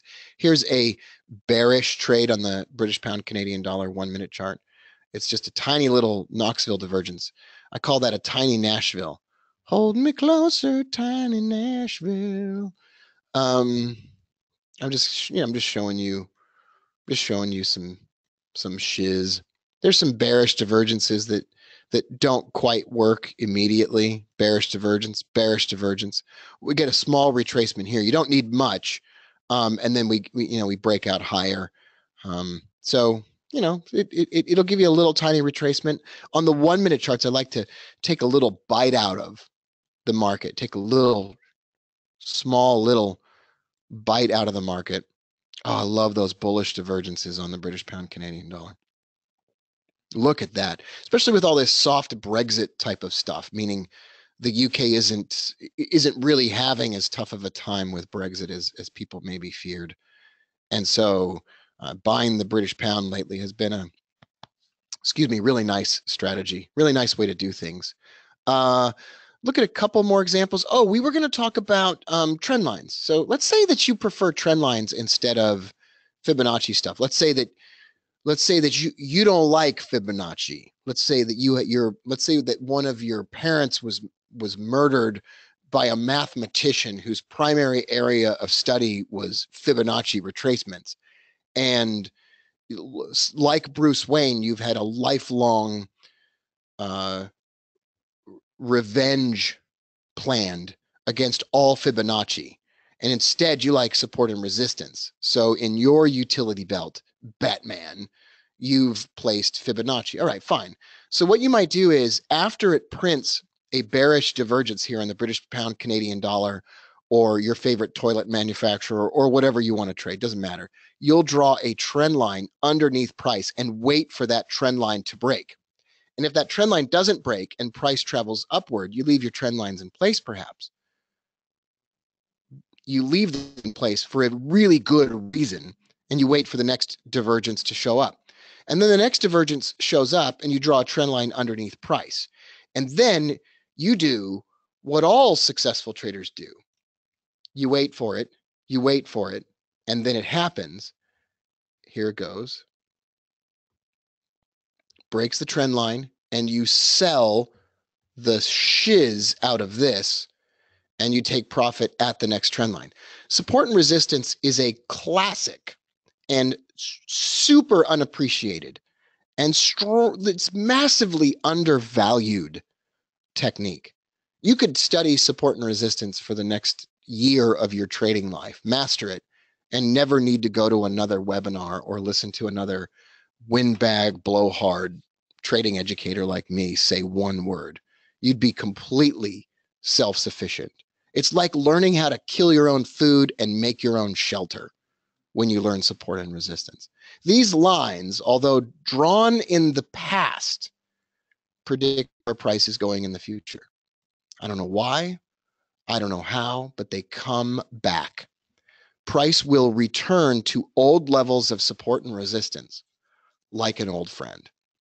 So you just need to learn how to draw those trend lines. So you, I don't know what XP I don't know what this is, but see this bullish divergence on the one hour chart. You could trade the four hour chart if you want. I don't care. It doesn't matter. So let's just draw some trend lines. We'll get them on our screen. We'll draw that there. We'll draw this here. That's not even going to matter. We'll draw this across the tops. Get some trend lines in here. Trend line action, baby. All right. And we'll get another one right here. All right. And then as time goes on, we see this divergence right here. We might say, all right, we'll draw a trend line across the top of that. And then we'll see if we can buy it and then it will get to the next level. And there's a gap, so maybe it wants to fill the gap eventually. So it drops. So no, it, it doesn't do that. That's fine. We'll get another trend line in place soon enough. So I'm just going to draw support and resistance all over, all over the, the, the dang place. I don't even know this stock. I don't even know what Express Incorporated does, but we print this bullish Knoxville divergence. We buy on a break of that trend line. And it's not surprising that it's going to hit that next trend line higher, higher, as uh, Peter Gabriel would say. Now, I don't know where it goes from here, but um, clearly it's it's out in space now, and we we might need some more levels or trend lines in place. Now I'm going to show you a couple books that mattered to me when doing support and resistance. Not that you care, but um, Pring on price patterns. Um, I used to do a radio show. Uh, I used to do an internet radio show for traders back in 2004, 2005. And I called Martin Pring. I was going to prank call him on the show. He ended up being um, just um, just a wonderful man. So the prank call never happened. This book, Pring on Price Patterns, totally worth your time. Absolutely worth your time. Um, not a complicated, not a complicated tome. Um, totally worth your time. It's just glorious. Uh, really, I love Marty and I love the book. Um, he's just a fantastic individual, and and this is a great book. Um, he goes through all the regular old classic price patterns in a really easy to understand manner. Um, as far as Fibonacci is concerned, it's really hard to find anybody better than um, dynamic trading. What's that guy's name? Bob, what's his face? Um, this book costs like $12 million. So, and he's even said that this book is kind of update, outdated. So I want to be careful about recommending it to you and it's not even pulling up. So who cares? Um, Preying on price patterns. Great book. All right. I got a few minutes left and, I'm, my cough is coming back. Here's what I want to do. I want to tell you about a couple of things. Traders Podcast, absolutely free, available on iTunes, SoundCloud, Stitcher, Google Play, and everywhere else. We're on episode 603. You can listen to that one. I would strongly recommend that you also take a look at uh, Trader Radio on SoundCloud and iTunes. I did 92 episodes of Trader Radio. Episode six Trader Radio episode six is one of the most popular episodes of that show. And I interviewed, um, why is that not pulling up? Anyway, um, I interviewed one of the most successful traders who's making a thousand dollars a day. Um, so uh, Trader Radio is another good one uh, Trading for a Living podcast. This is another one I did 100 episodes of, or 50 episodes of, or whatever. Uh, tons of episodes of this. So I've got lots of great podcast episodes for you to listen to. I've done about a thousand shows overall. I had an AM radio show called The Booker Report for uh, 120 episodes until I said a bad word on the air. You can find that uh, wherever um, radio shows are played. Um, and uh, I got my homepage of the website, robbooker.com. And if you click on free indicator at the top of the page, that will, there is no product for sale on the other side of this. Uh, I have some friends and partners. You can sign up for their newsletters, and I would encourage you to do that. However, there's nothing for sale. I will contact you eventually when I have something special for you. But um, I'm just here today to tell you that I care about you, that I'd like to get to know you better, and you can download this indicator um, absolutely free and you can install it for all of those platforms that you see at the top of the screen plus others that aren't even listed there. And the indicator is free. I am not an expert in ninjatrader or TradeStation so if you have trouble with those platforms you got to know those platforms but the indicator is available and it looks um, just like you saw on the screen today as we worked together except on thinkorswim in which case it looks like a bunch of arrows because they don't let you draw lines on thinkorswim charts uh, once again, it's been a pleasure to know you and to meet you. I hope you'll stay in touch with me. If you want to, if you want to get in touch with me and you, you want to know more about me, or you want to ask me a question, I've got my phone in front of me right now. And this is my phone number. Do not call me at this number because it is my phone and I will not answer the phone for you. But if you text me, I will get it on my phone and I would love to hear from you. You can text me 24 hours a day. This is my number. I am the only one that answers this. The phone will be in my hand. You can ask me a question or say hello. My number is 304 281 8332. I've had that number for a lot of years since I lived in West Virginia. Um, you can text me at that number 304-281-8332 and you can say hey i met you in the webinar had a question about what you do. I'm always happy to hear from you. There might be a delay but i will be the one that responds to you. And i've been uh, really grateful to the folks at TradingWins for having me here. Thanks so much for sponsoring this saturday morning event and uh, i've been real happy to be here thanks everybody have a great Rob, saturday Bye. Listen, uh, I would like to thank you as well, but you've made me coffee my keyboard about three times because of your presentation. You made me laugh out, laugh out loud so hard. I didn't realize divergence could be so exciting. Um, and that. I, I have to give you full credit for your uh, German present, uh, pronunciation of uh, Schweizerfranken, and I'm going to raise you Österreichischer Dollar. Okay. Oh my gosh, that's fantastic. Is that the Australian I dollar? can't tell you. This was really good. Really enjoyed it. Thank you so much for uh, for joining us and for bringing a little bit of uh, of a lightheart, a lighthearted presentation to a very serious topic, and the topic itself really engaging. Really well done. Thank you. Well, thank you very much. Have a great day. And the same to you. Enjoy with the children. Okay, bye for now. That's it, Vince. Another uh, spring kickoff done. Yes, excellent. Hope uh, you all uh, enjoyed it. Thanks for being with us.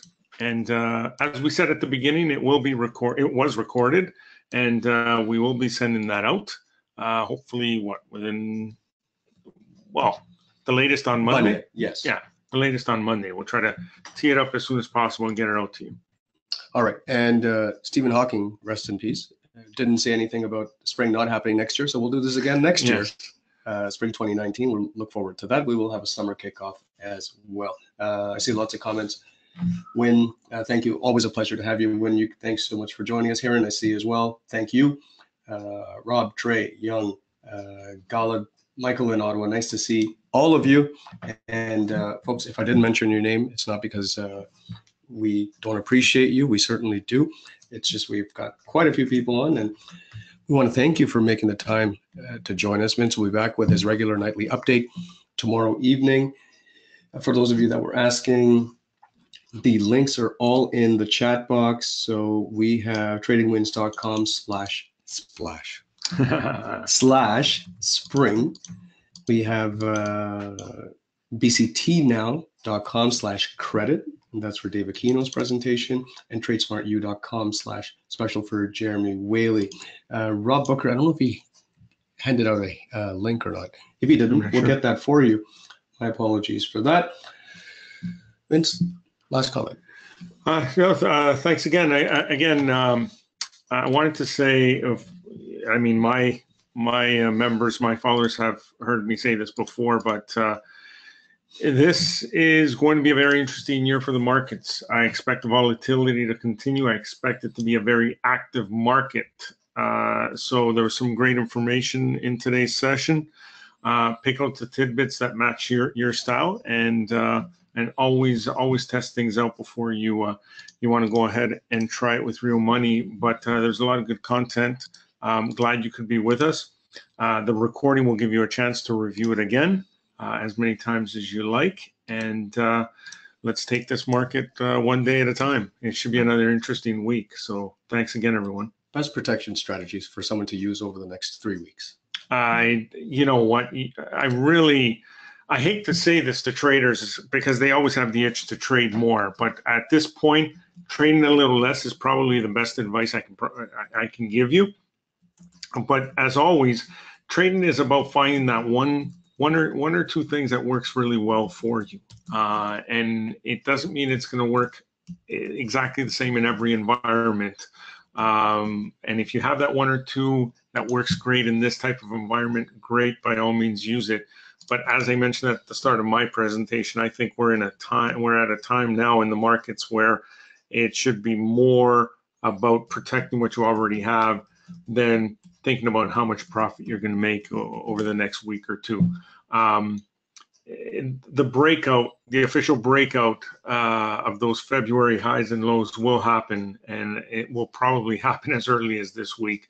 So you won't have to wait very long to get back to being very active. But I think now, uh, you know, the more restraint um, you can use, I think the better. off off you'll be right now. All right, before we go off, uh, before we go, we do have a bonus trivia question for Vince at the end of every session in our market chats. We always like to challenge Vince with a trivia question. Vince, you ready?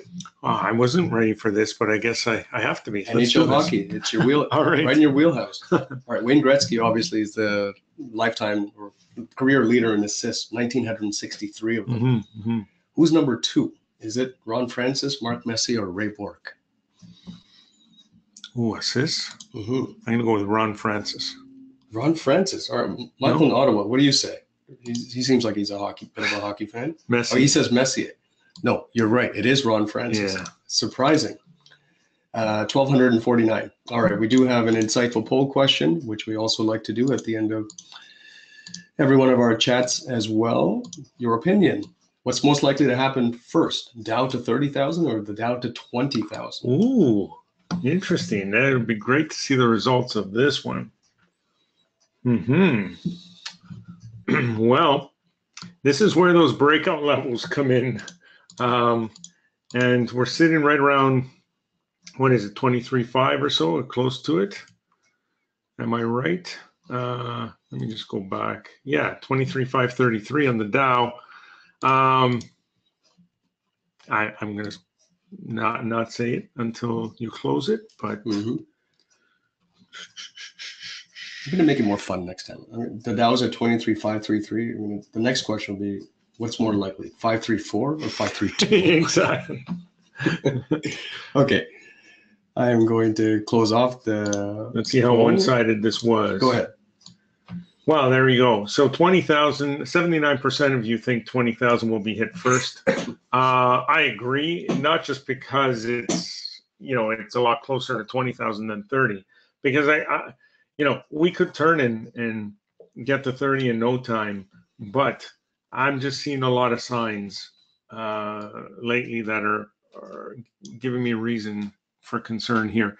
And, uh, unfortunately, I think we will see 20,000 first. Um, the thing is, what worries me more than anything is that if we do see 20, uh, then we certainly see 18.5 and most likely lower. So fasten your seatbelts, Would as you- they say. Would your answer be different if uh, the question was 25,000 versus 20,000 first? And if we do see 25 first, does that mean 27 is more likely? No, not necessarily. No, uh, that's the thing. Uh, yeah, 27, I I feel a little more comfortable with 25. Um, I'd say we're still, uh, you know, in in the chop zone, and we haven't really resolved anything. But um, I think this week is gonna is gonna be a big week. I know I say that often uh, recently, but uh, it will. I think this week is going to be the week where we break. So stay tuned. He's Vince Vora. I'm Raul Aurora. Nice to have you join us. Thank you so much. We really appreciate it. These sessions wouldn't be the same without you. We wish you a terrific Saturday, a wonderful weekend, and we'll see you soon. Thanks, everyone. Take care.